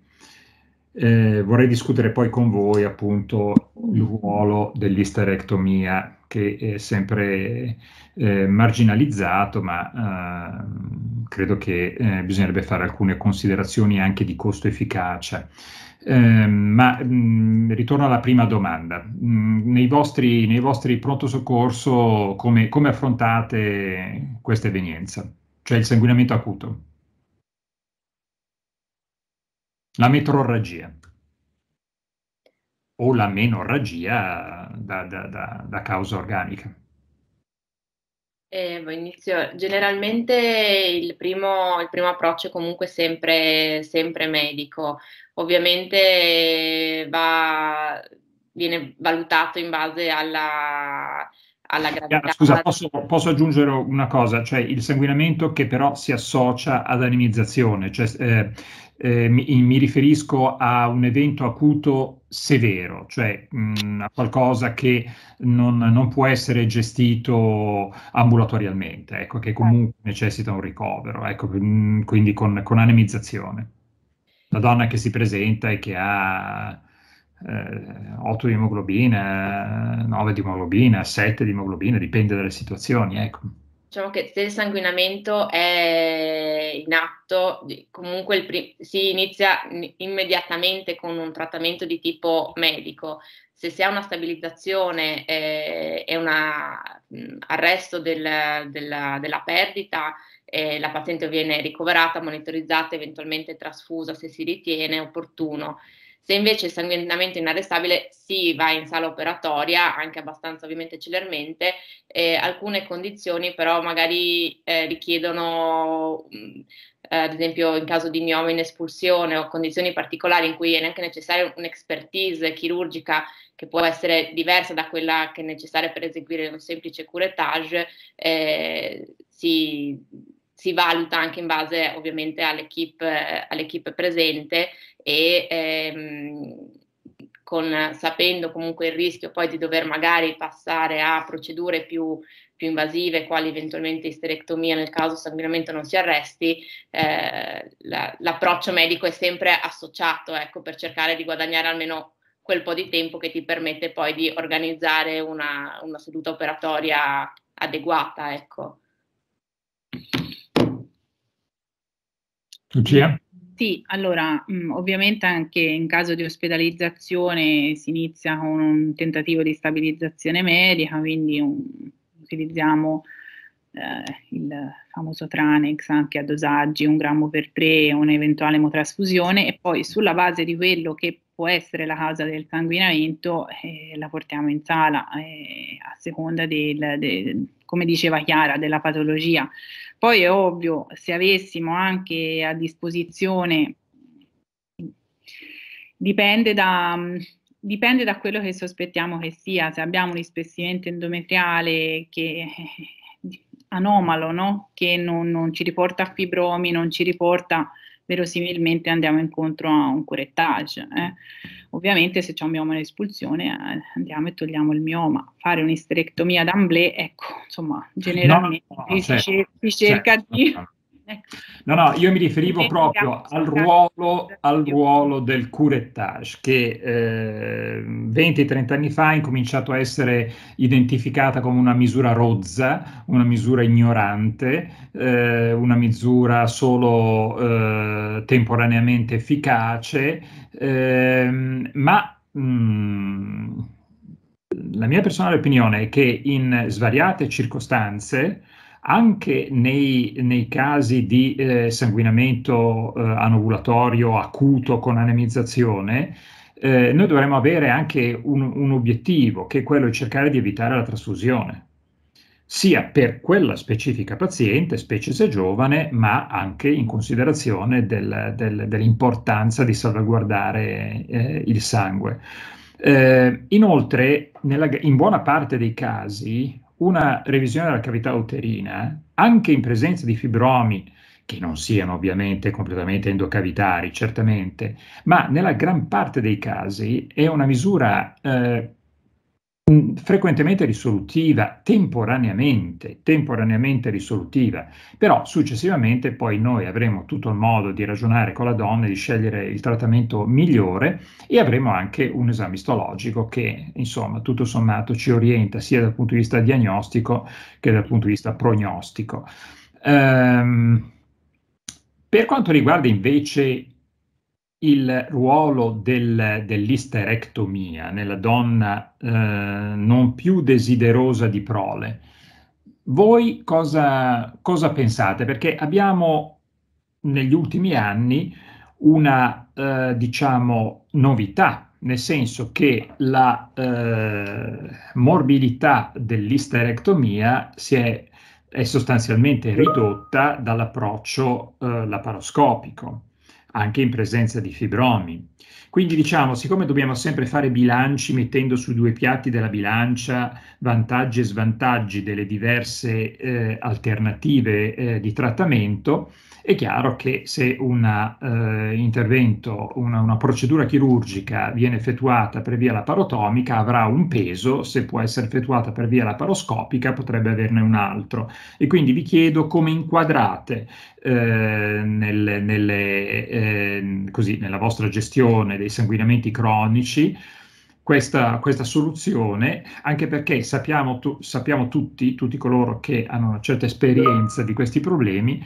che molto frequentemente eh, la si tira in lungo per anni per poi arrivare magari in un momento in cui si sarebbe potuto cercare di evitare l'isterectomia perché siamo a distanza di uno o due anni dalla presunta epoca menopausale, ma a quel punto la donna non ne può più perché ha avuto un calvario di diversi anni prima di tentativi terapeutici non eh, fruttuosi e quindi chiede lei a quel punto l'isterectomia. Quindi qui mi, mi, vi chiedo vo- la vostra opinione su questo. Ehm, mm, nel nostro istituto generalmente come ovunque immagino la, il primo approccio è, è, medico di fronte al fallimento della, del trattamento medico eh, quindi di una donna che comunque continua a avere AUB e ehm, è, è certa diciamo, di aver concluso la sua vita riproduttiva, sicuramente l'isterectomia viene, viene considerata senza eh, arrivare appunto a, a, trascinare la situazione per eh, magari dieci anni. Il problema è che molto spesso le pazienti arrivano che già hanno fatto un lungo percorso, per cui di fatto eh, hanno già fatto un numero di tentativi e nel momento in cui le prendiamo in carico generalmente eh, si, si, rivaluta e si eh, ripropone un percorso più conservativo. invece che iniziare la legge. Eh, se questo non risulta efficace, allora si, si può proporre anche l'istrectomia in accordo ovviamente anche con quello che è il desiderio della paziente. E, ehm, è vero che sicuramente la, dal punto di vista tecnico, la, grazie alla laparoscopia, è un intervento mh, molto meglio tollerato, è anche vero che stanno aumentando le comorbidità delle pazienti, per cui sempre poi eh, difficile sta bilanciare il rischio eh, operatorio con quello che è il, eh, la, l'effettivo eh, disagio e problematiche causate da, da sanguinamento uterino anomalo.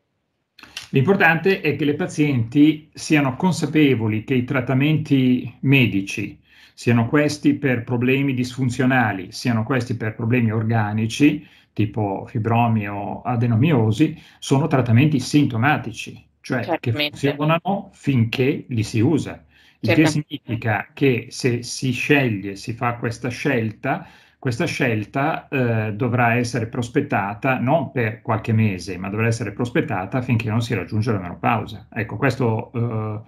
diciamo, il mio discorso sull'isterectomia si inseriva anche in questa prospettiva, ecco, cioè il, il, fatto che tante volte le donne non sono consapevoli che i trattamenti che noi ehm, proponiamo, medici, i trattamenti medici che noi proponiamo, ehm, funzionano finché vengono effettuati. Sì, assolutamente. È anche un, un altro fattore importante da considerare la, la, compliance della paziente, nel senso che se ci troviamo di fronte a una paziente che immaginiamo eh, possa avere difficoltà a eseguire una terapia sul lungo periodo, eh, piuttosto che ritrovarcela poi in pronto soccorso con 6 di emoglobina, sicuramente proporre più precocemente un intervento eh, definitivo ha, ha, un suo senso, ecco. Abbiamo una, una, insomma, una, considerazione eh, fondamentale il Vabra sulla metrorragia severa in atto. Cosa ne pensate? Quello che diceva un po' prima il prof, che sicuramente eh, può essere può essere d'aiuto. Ecco, nel momento in cui ci troviamo una metrorragia e, e, que, e quello, fa, quello, facciamo dal, per l'emostasi proprio, vera e propria. E poi abbiamo anche un istologico, ecco, non è che è proprio... Sì, sì, se, se, un, se, riusciamo con una cannula da 5 mm può essere che certamente non con quella da 3 credo ci possa essere utile nel, nella metrorragia acuta. Esatto.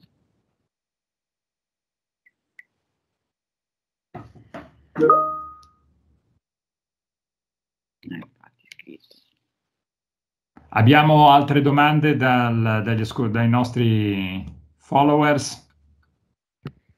No, al momento non ci sono altre domande. Bene, quindi siccome abbiamo sorpassato il, il, tempo, il tempo, previsto, io vi ringrazio veramente moltissimo per uh, aver accettato il nostro invito, per aver dedicato un sabato mattina al nostro aggiornamento. Vi ringrazio per le vostre presentazioni, veramente molto, molto apprezzate. Ehm, Federica, se vuoi dare il prossimo appuntamento. Grazie il prossimo incontro sarà sabato 29 gennaio. Il titolo è Covid e gravidanza, implicazioni materne e feto neonatali. Avremo come relatori il professor Enrico Ferrazzi e la dottoressa Serena Donati dell'Istituto Superiore di Sanità. Modererà l'incontro il professor Fabio Mosca. L'appuntamento come sempre alle 10. Io vi ringrazio moltissimo, come sempre vi auguro buon weekend e allora a sabato prossimo. Arrivederci. Arrivederci. Arrivederci.